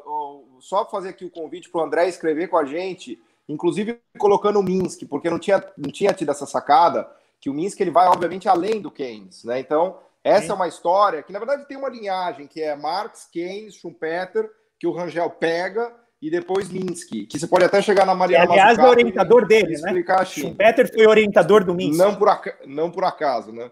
Mas enfim, então se você tiver não. ânimo e pique, porque eu e o Elias estamos exauridos já, você que tem uma capacidade de trabalho muito maior do que a nossa, se quiser alinhavar aí algumas laudas. Convite aceito, convite aceito. Zé Márcio, a palavra não, é sua. Não, era, era só dizer uma coisa que eu acho que é didática, para vocês, isso não é nenhuma novidade, mas para eventualmente alguém que esteja nos assistindo, vocês estão falando da, da coisa da incerteza, né? Tem um conceito maravilhoso, né, que ficou conhecido na literatura filosófica como aposta pascalina, não é? é resumindo, é o seguinte: olha, é, aliás, o Pascal era um cara extremamente religioso, além de um grande matemático, um grande filósofo. Ele dizia o seguinte: olha, você pode apostar que uh, Deus não existe. E aí você leva uma vida, bom, Deus não existe, vale tudo, né? Você, você faz tudo aquilo que, por exemplo, os Dez Mandamentos é, pede para você não fazer, você solta, chuta o pau da barraca. Bom, chega lá no fim da tua vida, Deus existe sim, existe o juízo final, existiu Cristo, Cristo é o Filho de Deus, enfim, você está ferrado. Agora, você pode apostar. Tem outra coisa é seguinte: não, Deus existe, eu vou seguir os preceitos. Blá, blá. Então, na aposta pascalina, estou vulgarizando ela muito, é o seguinte: aposta que Deus existe, né? e, e segue os preceitos que estão ali, você. No, o trade-off não é tão grande. Você vai ter uma vida digna, você vai ser um cara respeitado, é, é, probo, enfim. Né? E ainda no final, você vai ser julgado e no final você vai ter a vida eterna. Então, veja, eu estou trazendo esse conceito né, é, para a coisa do, do projetamento. Você, você aposta, você aposta que Deus não, não, não, não, existe, o que o, A sua aposta não, não, pessoal qual é? Já vou te falar, mas deixa eu só dizer o seguinte: o que, que o, a economia do projetamento, o, a, essa grande contribuição do Elias, não é? e o que, que há a, a, a economia, os, os, chineses, os dirigentes chineses, aposto o seguinte, eles apostam que o mercado é uma merda, vai, vai, vai, vai ferrar, tá certo? Então é o seguinte, na dúvida, vamos, vamos projetar, vamos pôr o Estado, tá certo? Que nós temos, porque o mercado é uma merda, o mercado tem falhas brutais, estruturais, o mercado é uma merda, então eu vou, aposto, eles fazem uma, uma, uma, uma aposta do tipo pascalina, entendeu? Já sabendo, não sei se, se me fiz claro, mas um pouco é isso. Eles, eles afrontam, eles fazem um, eles fazem um head ao, ao, ao princípio da incerteza. Concorda, o mercado, o mercado é bom, mas é uma merda. Né? O Estado é uma merda, mas é bom, né? mas é bom, é isso. Falando é sobre isso. Nova York, né? Se ele gostava. O Elias, e só, só colocar em cima do que o Zé acabou de falar. O Minsk tem uma frase que ele diz assim: o mercado faz tudo aquilo que não é essencial. O que é essencial, ele não faz. Ele deixa o pessoal. Marav maravilhosa a frase, maravilhosa. Aí o esculacho de Minsk. Essa, essa, essa, essa tua ideia, Paulo essa, Gala, de essa trazer... vai ser epígrafe, Paulo. Boa, é, não, não, maravilhosa a ideia do Paulo Gala de trazer Minsk e Roncaglia, André Roncaglia, para a discussão de vocês. Fantástico, fantástico. Não, mas eu vou Bom, fazer uma provocação. Eu quero, falar do, eu quero falar da dualidade daqui a pouco para ser justo com, com o Rangel, mas vamos seguir, vamos seguir aqui. Vai lá, Elias. Não, é, primeiro que o, é, existem diferenças aí. Ó, eu vejo o projeto, a nova economia do projetamento como uma, uma, uma material, a materialização do socialismo no nosso tempo, né? Eu vejo dessa forma, né? E também tem uma diferença entre o Rangel e o Minsk, né? O Minsk talvez tivesse a ilusão de que o big government que ele está falando poderia ser exercido pelo Partido Democrata, né? Não é isso? Total, total, com certeza. O Rangel não. O Rangel sabia que o Big Government poderia somente ser, ser, ser tomado só por um partido como o Partido Comunista da China, né? Eu acho que é, é porque, porque o, keynesianismo, vezes... o keynesianismo é reformista, né? Aquilo que eu até coloquei no Twitter esses dias. Né? Seguinte, não, eu estou dizendo o seguinte: o Rangel tinha muita clareza, apesar de ser um cara amplo, keynesiano também, jupiteriano, de que a força política no mundo que expressaria maior essa capacidade de fazer as coisas acontecerem era o Partido Comunista, no caso do Partido Comunista da União Soviética, né? E hoje seria o Partido Comunista da China. Tanto é, aí é uma, é uma, é uma, não é nem fofoca, é uma coisa que eu queria trazer aqui para a roda, porque o Zé Márcio pode confirmar isso. O final da União Soviética acelera a morte do Rangel. Tá? E já, já entrando aqui, e já entrando aqui na debate, na debate da dualidade. O Collor no Brasil e o, Gorbachev na União Soviética, e o fim da União Soviética, acelera a morte do Rangel, porque, em certa medida, é um tiro no coração da tese do Rangel da dualidade, né? Porque a, o Brasil passaria a gerar em torno da União Soviética numa possível quarta dualidade, né? E a União Soviética acaba, né? Sabe? Então eu Agora, acho. Enfim, é uma fofoca, uma informação que já me falaram disso, porque é, é, a saúde do Rangel se deteriora muito no começo da década de 90. E tem relação direta com a eleição do Collor, que ele ajudou com o Lula no segundo turno, inclusive, uma outra, uma outra coisa que eu ia trazer aqui, e também votou no Covas, do Rangel, mas depois ajudou muito, tentou ajudar o Lula no segundo turno. E também essa questão do final da União Soviética que levou o Rangel ao. Ele teve um baque, né? Muito grande ali. Eu não sei se é verdade, Zé Márcio, você que pode. Você que pode não, não com certeza. Eu não, eu, Zé, bom, eu Zé, não... Deixa eu adicionar mais uma, só mais uma, aproveitar a tua inteligência aqui, e a gente está no intervalo, né, entre caminhadas até aquele aposento específico. O Rangel, ele tem uma, uma parte no fim da vida dele que se tornou muito controversa, que foi a questão da, da privatização. Então, eu também queria que você aprofundasse um pouco mais isso, a questão da concessão, Elias, acho que está associado um pouco a essa, esse alinhamento né, com determinados partidos, e isso é algo interessante da gente saber. Vai lá, Elias. A versão dele é do a minha. Pode, pode ir lá, Zé. Um, não, vai, vai, vai você. Não, eu só queria, antes que você responda, só destacar duas coisas, né? Do, além dessa da coisa da privatização no final já da, da carreira dele, ele também foi, foi idiosincrático quando ele diz que lá atrás que não era necessário que não era necessária a reforma agrária, né? Olha lá. Oh, quem tá aí? A Vitória. A quem Vitória é é o primo, menino? é o primo, é o Felipe, ó. Ah, fala, ah fala, parabéns. Lindos, lindos, lindos, lindos. Ela estava quietinha lendo Economia do Projetamento lá no outro Mas viu, antes, antes do Elias responder, o Elias vai responder, o Rangel, veja como é, ele lá atrás, eles, olha, não precisa de reforma agrária, não, né? a questão da reforma agrária. E, e já na, no final da vida, ele dizendo, uh, ele defendendo a privatização, né? Vai lá, Elias. Então, a, também aqui vou fazer uma. Porque os oportunistas utilizaram muito essa coisa da privatização do que o Rangel falava para isolar o Rangel, né? Os oportunistas, oportunistas pela esquerda, vamos dizer assim. Só que essa ideia revolucionária, na medida, na medida que o Rangel ele via a economia é, como, como algo que evolui e que ciclicamente o papel do Estado do setor privado vai mudando ao longo do tempo, tá? O Rangel foi percebendo, é, aliás, algo altamente aplicável à China de forma não mecânica, é que entre uma dualidade e outra, ou entre um ciclo juglariano e outro, o Estado vai tomando outros papéis na economia e o setor privado assumindo outros, né?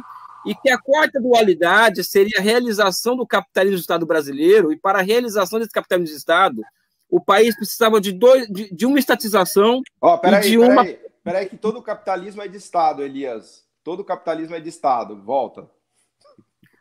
Não, eu estou usando as palavras do Rangel, né? Eu não concordo com esse eufemismo e tal. Fala, fala pra gente quais são, quais são as quatro dualidades. Fala, dá uma mini aula aqui de dualidade, vai, sem querer abusar da sua boa vontade.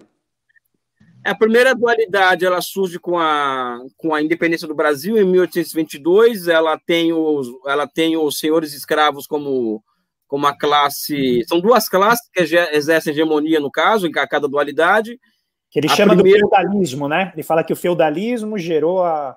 a, a... Ah, não, o feudalismo é, é, a, é, é o descobrimento, né? A, o feudalismo é, terceira, é, é o carro-chefe da terceira dualidade. É a via prussiana brasileira que faz a nossa industrialização. Tá. tá? A segunda dualidade ela é, ela é hegemonizada pelos comerciantes de importação e exportação, não é? é? E o latifúndio subordinado a ela. E a primeira dualidade, os, senhor, os senhores escravos. Enfim, tem essas três dualidades. E a quarta dualidade seria, no caso, aí que dizem que o Rangel errou, mas o Rangel acho que não errou, tá? O que acontece é que existe uma apostasia política em meio disso, e o golpe de 2016 confirma essa apostasia, que seria a hegemonia de uma burguesia industrial brasileira e o, e o com o sistema financeiro brasileiro, um grudado no outro em prol do desenvolvimento. Isso não acontece por causa do fim da União Soviética, da financiarização da economia mundial, essa coisa toda, né? Mas voltando aqui a essa questão das privatizações e da, e da, e da a realização da quarta dualidade, que seria a, a, a maturação do capitalismo brasileiro, e quando o Brasil alcançaria, no caso, o status país capitalista desenvolvido, abrindo assim as portas nossas ao socialismo por conta das, das tensões que iam se criar o imperialismo, essa coisa toda do Rangel, que é para colocar mais adiante, o Brasil deveria estatizar o comércio exterior, ou direcionando aos países socialistas e ao terceiro mundo, tá? E, e fazer concessões de infraestruturas estranguladas ao capital privado nacional, não estrangeiro. Então, não é uma, uma privatização, uma concessão de serviços públicos ao capital privado nacional. Ou seja, ele, é, ele, ele e, e, é concessão de serviços públicos a serem feitos. O Ranjano não era, era contra a privatização das Minas, era contra a privatização da Vale Rio Doce, era contra a privatização do sistema financeiro, era contra a privatização da.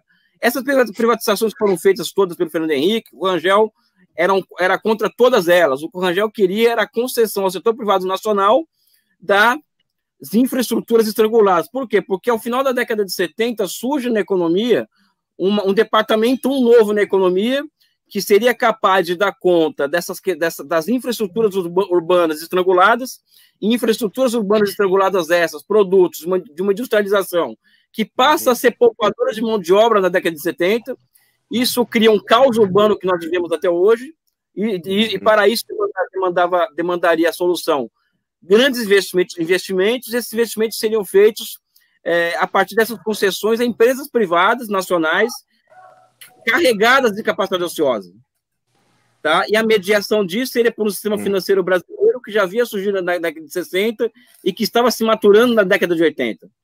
Então, o Rangel coloca que o erro dos militares é, é, foi justamente continuar apostando no endividamento externo, quando o Brasil já tinha um capital financeiro nacional pronto para ser o grande elemento é, que iria fazer. De impulsionamento, a... né? Exatamente, não, ia fazer a, a, o carreamento intersetorial de recursos, né?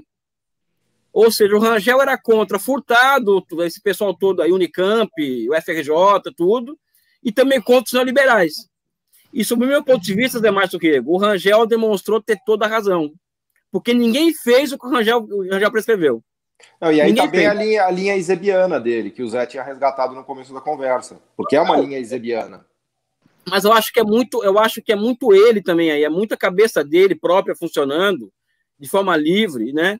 E a única solução que não foi posta, que não foi imposta em prática no Brasil desde aquela época foi a solução rangeliana. As soluções heterodoxas foram colocadas em prática, deu no que deu, as soluções ortodoxas deu, no que deu, e a solução rangeliana não foi posta em prática. Para mim, a questão é política, porque no Brasil não se conformou uma, uma superestrutura política capaz de levar as ideias do Rangel, do Rangel adiante, e também a derrota do Rangel no debate, né? porque eu acho que o Rangel foi derrotado no debate, e a derrota que o Rangel sofre não é ruim para o Rangel, porque o Rangel era hegeliano e sabe que a verdade sempre aparece. Tá? Eu acho que foi a derrota do Brasil, ou seja, ao derrotarem o Rangel, quem foi derrotado no final das contas foi o Brasil, não foi o Rangel, né? É esse é o meu desabafo Elias, Elias, André e Paulinho, deixa, deixa eu é, é, é, fazer uma colocação, é, aproveitando a presença do Elias aqui, da expertise que ele tem sobre China, sobre Rangel e sobre Brasil também, que é o seguinte, o, a, a, chamada aqui é o pensamento de Inácio Rangel e um, um projeto para o Brasil. Nós, o Brasil, está sem projeto, o Brasil está sem projeto hegemônico. Nós tivemos lá atrás Aí, aí tem uma, uma, uma participação fundamental do Getúlio, é, não digo na formulação, mas na, na implementação, não é? Nós tivemos o projeto de desenvolvimento por substituição de importações, né? E industrializamos o Brasil, com problemas, não importa, não é? Industrializamos. O Paraguai não se industrializou, o Uruguai não se industrializou, por N países da América Latina, né? Talvez industrialização mesmo, de fato, México e Brasil, um pouco Argentina. Bom, nós industrializamos. Nós estamos há 40 anos estagnados, e nós estamos há 40 anos, pelo menos, ou mais, sem projeto. Então, eu queria aproveitar a presença do Elias e de vocês dois. Quer dizer, que, que, que, que projeto para o Brasil nós podemos é, delinear, ou se há algum projeto já em curso que nós podemos fazer aqui um destaque ou um aperfeiçoamento? Bom, projeto, que projeto? O, o projeto do momento é não ter projeto, então. Não, nós temos um, nós temos um projeto, o projeto do Ciro não deixa de ser um projeto, não é? Do Ciro Gomes, não deixa de ser um projeto. É, quer dizer, que tipo de projeto, ou uma melhorada nesse do Ciro, ou que tipo de projeto, a pergunta até é mais um pouco para o Elias, né? A partir de Rangel, a partir do que aconteceu no mundo é, pós desaparecimento do Rangel, quer dizer, fazer um adornamento, o que, que é possível pensar para o Brasil, Elias? Zé, Zé, posso só te pedir uma, um, uma tirar uma dúvida? Pois Você não. pode explicar o que é adornamento? Adornamento é colocar em dia, né? É, colocar é, para hoje. Atualizar. É, adornar, né? Em, italiano, né? Adornar, adornamento. Atualizar a, a, as ideias, os projetos do passado. Não, é que você usa muito o termo, e aí é legal quem está acompanhando poder aproveitar isso, né? Giorno. Obrigado. A colocar, colocar em dia é uma frescura em italiano, né? Não devia usar. Aliás, não, é... não pode usar, é bonito. Não, eu, queria, eu queria te pedir, Zé, assim, eu sei que você está. Imagine o Zé Márcio em plena forma, porque hoje ele está meio debilitado, ele está jogando machucado. Mas eu queria só pedir para você se preparar para no final um pequeno trecho de uma música. Se tiver que ir lá no gabinete real, vai com calma e tal, mas se prepara. Você sabe que, meu, precisa... você sabe que o cachê artístico meu é caro, né? Mas tudo sabe. bem. Não, mas a gente tem, tem dinheiro aqui do Banco de Desenvolvimento Chinês. O Elias conseguiu essa. Tá bom, tá bom. nós aqui. Mas eu queria ouvir o Elias. Elias, você, por um golpe de mágica, é? Nós tiramos esse, o, o mandrião do, do, do, do poder é? e, o, e, o, e o nefasto Guedes. E aí, não sei quem vai assumir, mas você é o, é o nosso ministro da Economia. O é? que, que você. Acho que a primeira coisa cai a internet se isso acontecer. Sendo... A live corta. Não, é. não rapaz, eu, é, sendo rangeliano, e o Rangel, como, como marxista, ele pensava que a política vinha primeiro que a economia não o contrário. Primeiro, Zé, nós temos que formar uma outra maioria política no Brasil. Uma outra maioria, tem uma outra maioria política no Brasil, porque a solução nós quatro temos aqui. Nós chegamos aqui em uma hora de conversa, uma solução para o Brasil. Agora, o problema é formar uma outra maioria política no Brasil. Por isso que a conversa do Lula com o Ciro Gomes é fundamental. Tá? Então, primeiro, formar outra maioria política. Ao formar outra maioria política, o que o Rangel também deixava bem evidente é que nós teríamos que delimitar quais seriam as reformas institucionais necessárias para a inauguração de um novo ciclo.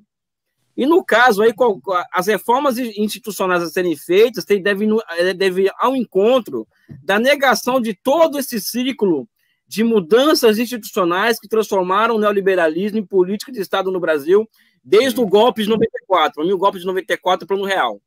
Tá? O golpe de 94. Depois explico por quê. Tá?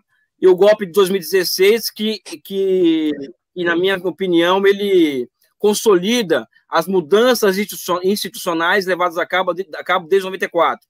Tripé macroeconômico, política de metas de inflação, LRF, agora reforma trabalhista, teto de gasto, ou seja, isso é um ciclo, é um arco institucional que somente uma outra maioria política vai ser é, hum. para reverter isso daí.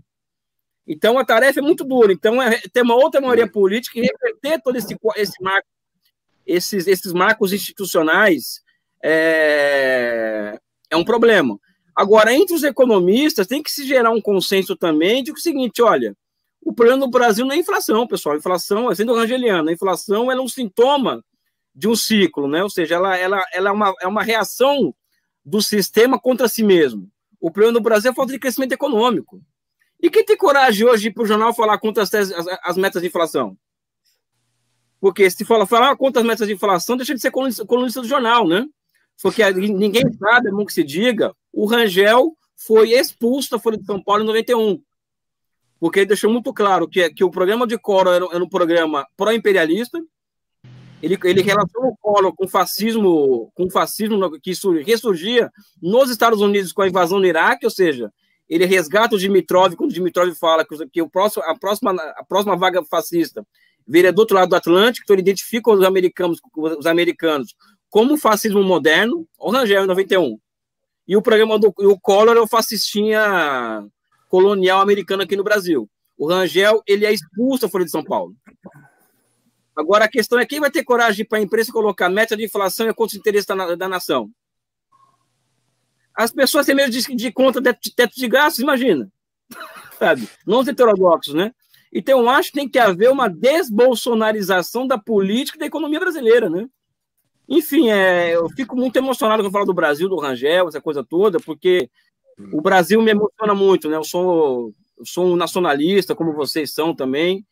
E, enfim, eu acho que a outra maioria política, Zé Márcio, se você montar um outro esquema, o acabouço institucional, capaz de abrir uma, uma, uma, uma nova fase de crescimento com, com ressubstituição de importações, né? com reestruturação do setor privado com, na economia. Com re, reindustrialização, né? Eu queria, eu queria até voltar, Não, voltar na, eu queria voltar na coisa da dualidade, de novo, aproveitando aqui a, o conhecimento de vocês, porque tem um lado também da dualidade da, é, que o Zé Márcio me ensinou lá em 2001, que a coisa da dualidade para o Rangel é muito mais do que aquela, aquela visão do Lewis, né, de uma economia dual, que tem a parte menos produtiva, com mão de obra menor, que a, é, desculpa, com mão de obra é, de menor produtividade, é, que uma típica economia dual no modelo de Lewis é aquela em que você tem um setor moderno e avançado, é, que há, em que há maior produtividade do trabalho, que em geral é formalizado ao setor industrial ou ligado ao setor industrial, e um setor atrasado, agrícola, de subsistência, que é um setor de mão de obra baixo. Depois o próprio Caldor né, vai se valer dessas ideias, e isso também está presente no Rangel, obviamente. Tem lá o Lewis e Caldor, que acho que é uma parte da história estruturalista que a gente não, não abordou aqui. Já estamos chegando em uma hora e meia de live, mas acho que seria legal a gente falar um pouquinho disso também. É, até porque o Brasil sofre até hoje desse problema, colocado em termos é, com, atuais. Né? A gente tem um, um lado é, informal e de baixa produtividade gigantesco na economia. Né? Então, como é que vocês veem isso daí? Da, é, primeiro, se vocês puderem falar um pouquinho disso, o André e o Zé, da dualidade eu, econômica, eu, deixa, né? Ô, Paulinho, Paulo, deixa eu perguntar para o André. O André... Um pouquinho de mau contato, se puder ajustar. O meu? É. O meu, um meu microfone. Viu, Paulo? Eu queria, eu queria, mais do que falar alguma coisa sobre dualidade, fazer mais uma pergunta que é o seguinte: vocês, aproveitando vocês três, vocês acham? Nós, nós não fizemos o alcançamento até agora. A Coreia conseguiu fazer. É, é uma pergunta que eu faço para vocês três. Vocês acham que ainda dá para fazer o claro. alcançamento ou, ou, ou não tem mais jeito? Então, claro isso que eu queria, que quer dizer, quais os pressupostos mínimos desse novo projeto que permitiria esse alcan alcançamento. Quer dizer, três ou quatro tópicos assim, condição sine qua non para este novo. Não precisam desenhar o projeto aqui, nós já estamos acabando o tempo e nós estamos num domingo à tarde, não é isso? Não é desenhar um projeto, mas é três ou quatro pressupostos fundamentais desse novo projeto, é, condição sine qua non para eventualmente é, log lograrmos êxito nesse alcançamento. Vai lá, André, eu começa vou começar, Eu vou começar para o Elias depois me corrigir integralmente, porque eu sou um neófito na, na teoria rangeliana dos ciclos, na parte da dualidade. Estudei bastante a parte da inflação, mas a, a dos ciclos eu estudei pouco. Mas o que eu estudei essa semana, me preparando aqui para a live, é, traduzindo um pouco para o caso brasileiro, Primeiro ponto seria corrigir uma deformação na transformação estrutural do Brasil, que é não ter emprego em larga escala. A nossa industrialização foi poupadora de mão de obra. O Brasil é o caso mais agudo de desindustrialização com a menor participação de mão de obra na indústria. Né? O Paulo Morceiro, nosso grande amigo, vem trabalhando isso há muito tempo, vem colocando isso de maneira muito clara. a gente teve a menor das participações de mão de obra industrial, ou seja, nossa tecnologia, como o Furtado colocou, ela era importada de um regime de produção radicalmente diferente do nosso, muito mais avançado, né? Onde a, a ideia de poupar trabalho era mais funcional do é, que no nosso pra, caso, que tinha muita mão de obra. A gente nunca chegou a ter 15% da participação da mão de obra no setor industrial. Chegou a 13, eu acho. Acho que foi 13, né, Paulo? Sendo que, que o normal é 25%, máximo, é. é 25% é o normal dos países que se industrializaram. Então, assim, é uma deformação tremenda de organização social da industrialização. Esse é o, é, acho que esse seria o primeiro ponto. E, novamente, adivinha quem fala isso? O Minsk. O sistema capitalista tem que funcionar para emprego, não para capital. A opção por intensidade de capital leva à irracionalidade do desemprego. Esse é o primeiro ponto. Segundo, do ponto de vista uh, organizacional, pegando a matriz do Rangel do sócio menor, que no momento seguinte se torna o sócio maior, depois da fase B, né, da crise do ciclo que ocorre, a gente teria que ter uma matriz estatal focada em algo que a China fez muito, que foi o setor de inovação. Então, gradualmente, você vai trazendo as pessoas, você vai formando as pessoas e jogando esse contingente de pessoas, isso eu estou falando, inclusive eliminando desigualdades regionais, né, colocando esse pessoal no setor de inovação, o Estado vai mantendo isso, para que no momento seguinte, quando vier essa, esse grande salto, a gente esteja na liderança. E aí o terceiro ponto, dentro desse esquema de emprego, formação de um sócio menor, o terceiro item seria a gente ter literalmente o projetamento dos setores em que a gente pode fazer esse alcançamento. Porque hoje em dia não tem mais como você fazer os grandes projetos do Hirschman, os grandes projetos à la Rosenstein Rodin, que você fazia num mundo em que ainda era amplamente colonizado no, no período do pós-guerra. A gente está num mundo radicalmente diferente em que a gente tem que conseguir vantagens comparativas dinâmicas. Então, de novo, foco no emprego, sócio menor com um sistema de inovação que vai levar décadas para constituir e a concentração em setores em que a gente tem a vantagem comparativa dinâmica. Essa seria, seria o, meu, o ponto de partida, eu acho, para a gente pensar um projeto. Veja, veja que só, só uma citaçãozinha rápida do próprio Rangel, exatamente nesse ponto aí, André, a questão do a preocupação com o emprego, né? Ele aqui na, na, na página 153 do, da economia do projetamento, ele, apesar de ele estar dizendo, não é este o lugar adequado, a revista minuciosa dos meios e modos de criar alicientes à inversão. É curto o parágrafo, fique tranquilo. Basta que saibamos que o emprego total da mão de obra varia com o tipo de inversão e não com o preço da mão de obra ou salário. Por outro lado, o projetista, né, o economista do projetamento, deve estar advertido de que não é sempre que o projeto mais primitivo, do ponto de vista técnico, é o que assegura a maior demanda total de mão de obra. Não obstante, há um caso em que isso é verdade, e para o economista do país subdesenvolvido, esse caso se reveste de especial interesse. Quer dizer, aqui nesse livro, muito bem lembrado pelo, pelo Elias, né, há uma preocupação extremamente grande com essa questão de, de desenvolvimento, industrialização, eh, projetamento, com o máximo de aproveitamento de, da mão de obra disponível. Né? Vai lá, Não, e ele fala que aí está subentendido nessa frase que arroz salarial não gera mais emprego, né? Ele, deixa muito claro nessa frase, nesse, nessa parte desse, desse livro, né? Então, eu, eu, concordo plenamente com o André, só queria trazer mais dois elementos. Insistir em um, que é a maioria política, a nova maioria política. Então, Lula e Ciro Gomes têm que se beijar na boca, é, essa coisa toda. Nós não temos que nós não temos que colocar obstáculos a, a isso, como tem, tem, as pessoas têm que colocar em. Tem, tentam colocar com, com frequência. Agora, eu quero trazer o elemento da geopolítica, que era muito caro ao Rangel.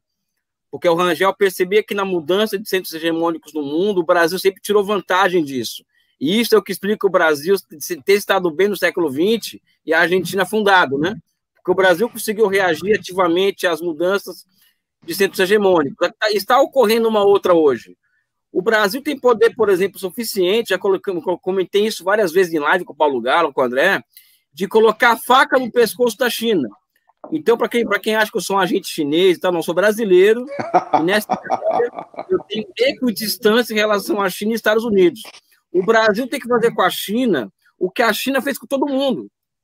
Ah, China, você quer vir aqui no né, mercado do 5G para gente, quer entrar aqui e tal, quer comprar isso, comprar aquilo, tudo bem. Eu quero toda, todas as tecnologias relacionadas aos trens de alta velocidade para nós. Eu quero todo, toda a cadeia produtiva do 5G à nossa disposição. E pare e deixe a América do Sul como mercado para nós cuidarmos desse mercado. Então, você cuida da América Central, da África, a gente pode combinar o jogo por aí. É, o Brasil o é o Brasil... centro da, da, América do Sul, né? Ele tem, teria que exercer esse papel de ser o centro né, daqui da América do Sul. Ele conseguiria tirar tudo da China nesse momento atual, hoje, em que a China está sendo cancelada no mercado mundial de semicondutores. Por que, que eu estou dizendo isso? O exemplo do Irã, né? O Irã conseguiu, Zé Márcio Rei, é, tirar um acordo da China de 500 bilhões de dólares de investimento. A China vai industrializar o Irã, vai construir um metrô de Teherã, e a Coreia do Norte vai, dar, vai ganhar, vai, vai, pegou, pegou uma beirada aí vai, vai, vai dispor de mísseis para, para o Irã. Né? Ou seja, em troca de petróleo. Um acordo ultra vantajoso, para o Irã, que vai sair da Idade Média em muitos aspectos para entrar na Idade Contemporânea em outros. O Brasil conseguiria tirar muito mais da China. Né? A gente acho que aí tem uma oportunidade de fazer o, o, o alcançamento via enfiar faca no pescoço da China. Eu, eu, eu, penso dessa maneira, né? Porque aí o elemento, o elemento da a geopolítica explica muito mais que a economia nesse aspecto, né? O mundo está passando por transformações e o Brasil está perdendo uma, uma janela de oportunidade muito grande. E o mesmo com os Estados Unidos. Ó, Estados Unidos, a China vai nos dar isso aqui, você.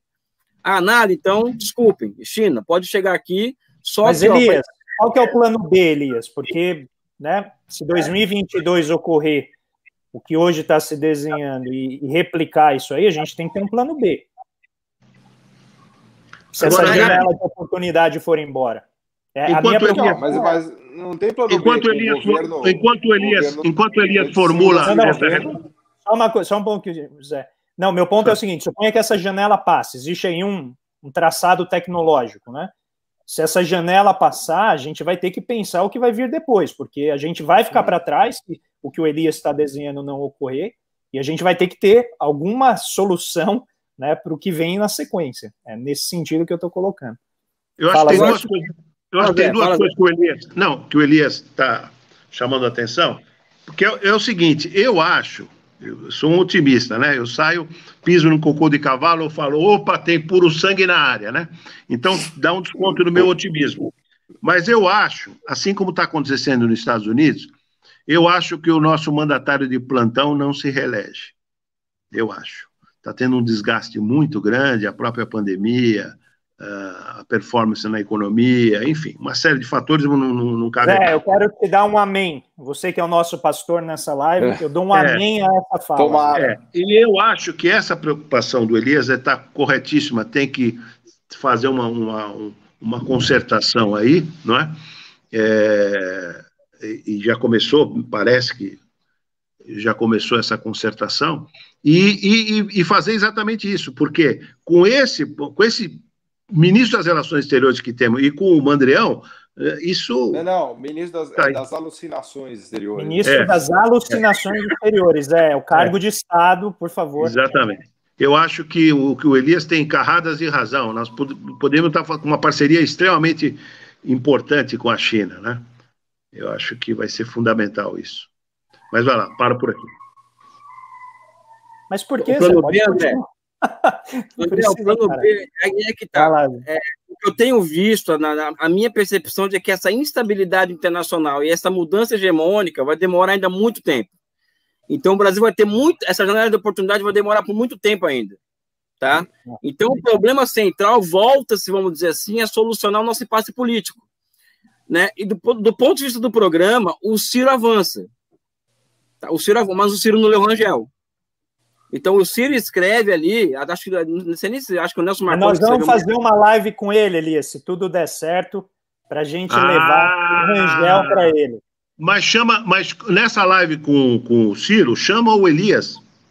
Não, o Elias que vai fazer a live, como chama? Ah! O Elias é, o Elias é a alma e o corpo da live.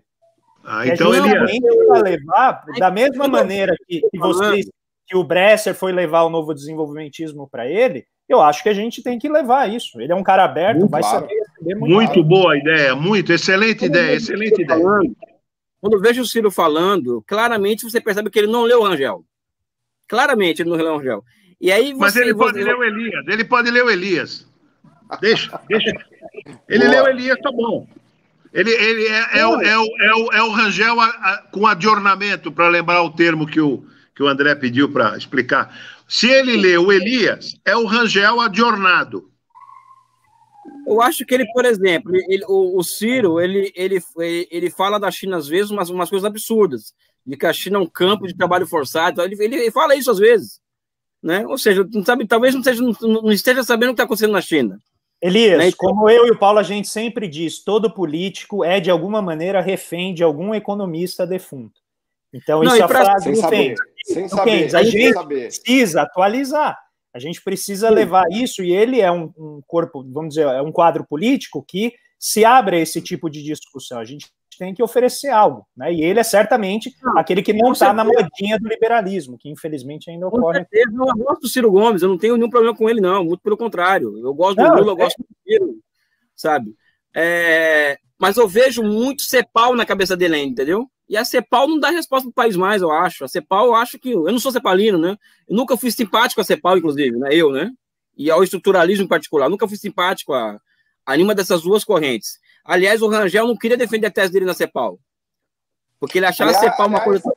É isso, vamos explorar. É, eu acho que é legal essa coisa do, do Caio Prado, do Furtado, do Prebit, do Rangel. Até já tá acabando meu gás aqui, já quase duas horas de live, mas é, Quantas barrinhas, é... Paulo, tem aí? Quantas é, barrinhas? Tá uma barrinha, uma barrinha só, cara. Mas eu não quero zerar porque eu quero ouvir o Zé Marcos cantando. Mas eu acho que não, não, eu acho que, viu?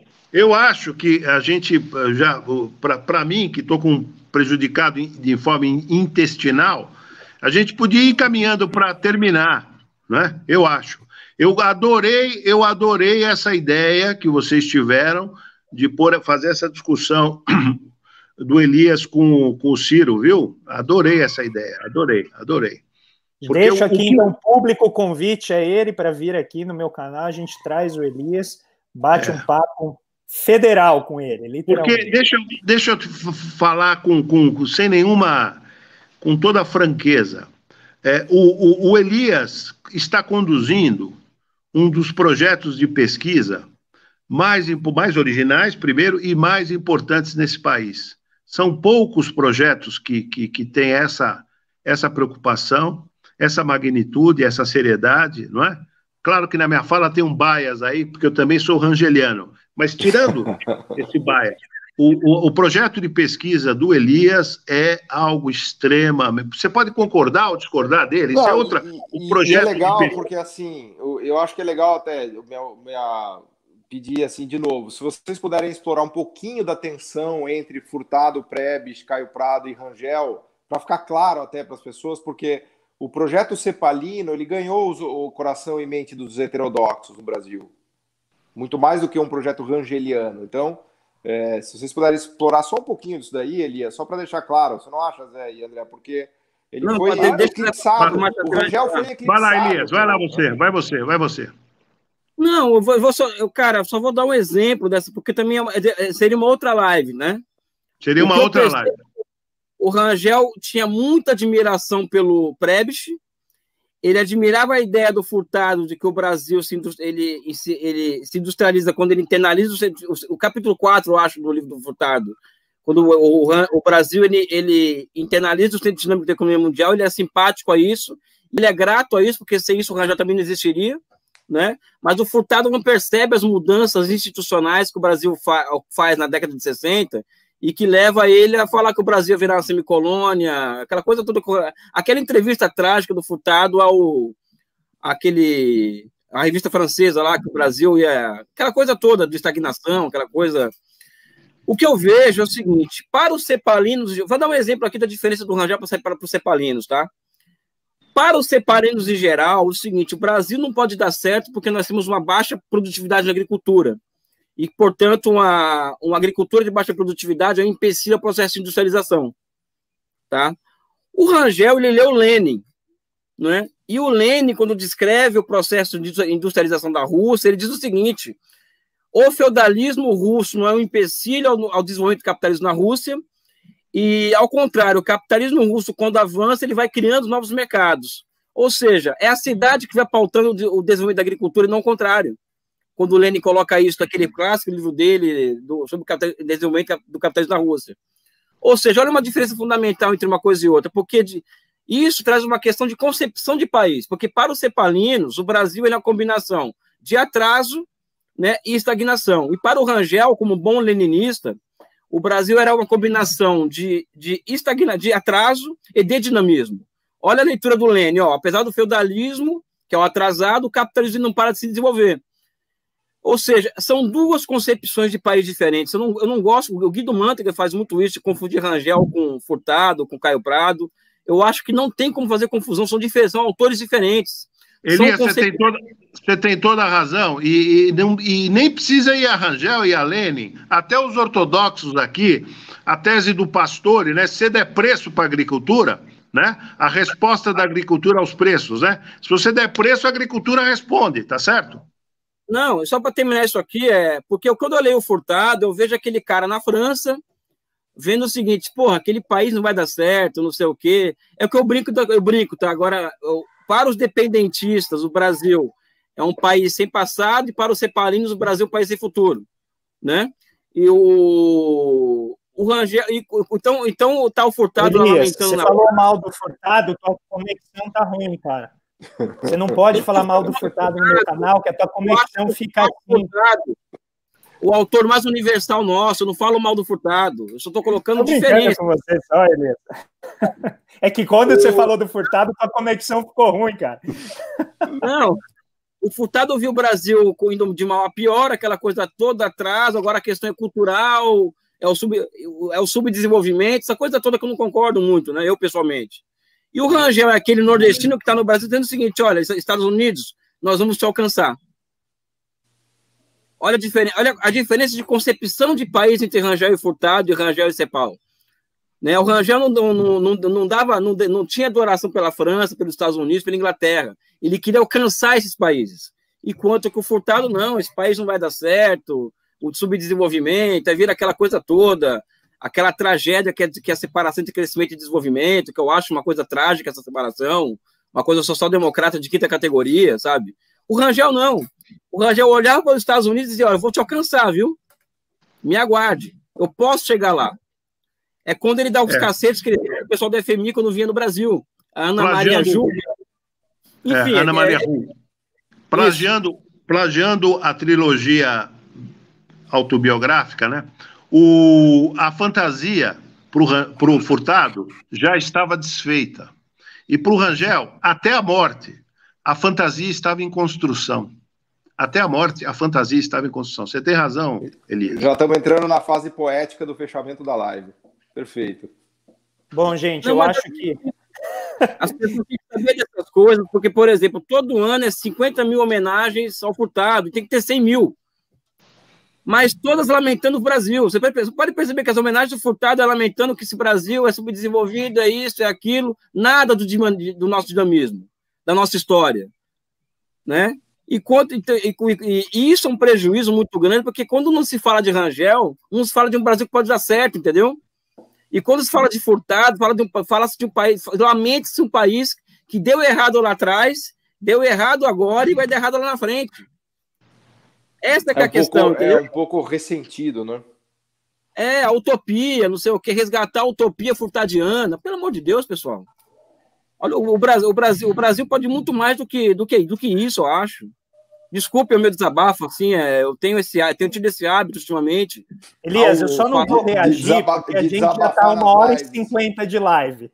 Eu vou, de, eu vou deixar essa provocação passar, mas a gente volta para resgatar essa, essa, vamos dizer, essa tensão entre o Furtado e o Rangel, porque eu acho que merece a atenção. Inclusive, a gente, quando for discutir isso, pode começar discutindo né, o plano trienal e a reação do Rangel ao plano trienal, que é muito. Violenta, a violenta. Depois ele até pede desculpa, né? Na segunda edição da inflação brasileira, lá numa nota de pé de página, ele fala: olha, ali aqui eu fui, eu fui, chutei as canelas, né? Do, do, ele pede, ele pede desculpa que ele foi, ele foi violento. Olha, deixa eu fazer um registro. Não vou cantar, não, viu, Paulo? Fique, você, não, não, tenho, Não tem condições. É, é, eu vou dar esse prêmio aos ouvintes, eu vou dar esse prêmio aos ouvintes, não vou cantar. Eu queria só fazer um registro. Agradecer demais essa ideia de vocês, foi, achei, aprendi muito, aprendi muito. Eu preciso ler mais o, o, o Elias, eu li pouco o Elias, eu vou ler, prometo ler mais, não é? E assisti, eu vi que tem uma quantidade muito grande de intervenções do Elias recente no YouTube, vou ouvir, tá? E, e, e, volto a pedir, eu sei que vocês já vão fazer, volto a pedir esse encontro, do, essa discussão do Elias, junto com vocês dois, com o Ciro Gomes. É urgente, urgente isso, urgente isso, para que, que dê tempo. Não adianta fazer isso nas vésperas do processo eleitoral, porque daí não dá tempo. Para que dê tempo dessa incorporação que o Ciro vem a fazer dessas ideias do, do Economia do Projetamento adornada pelo Elias, tá bom? Parabéns a vocês três, adorei e aprendi muito. Agradeço muito. Elias, Obrigado. suas considerações finais. Dizer que eu estou emocionado, só isso, estou muito emocionado. Elias, é, se a gente desse, do... a gente ia te dar um abraço, Elias, bem, bem apertado. Não, porque eu acho que falar do Brasil, do Rangel, me toca muito no meu coração. Eu, eu, não, eu, não só, eu não só estudo a China, como muita gente acha, né? Ou seja, eu também tenho uma leitura de, de Brasil, que eu tenho desenvolvido também.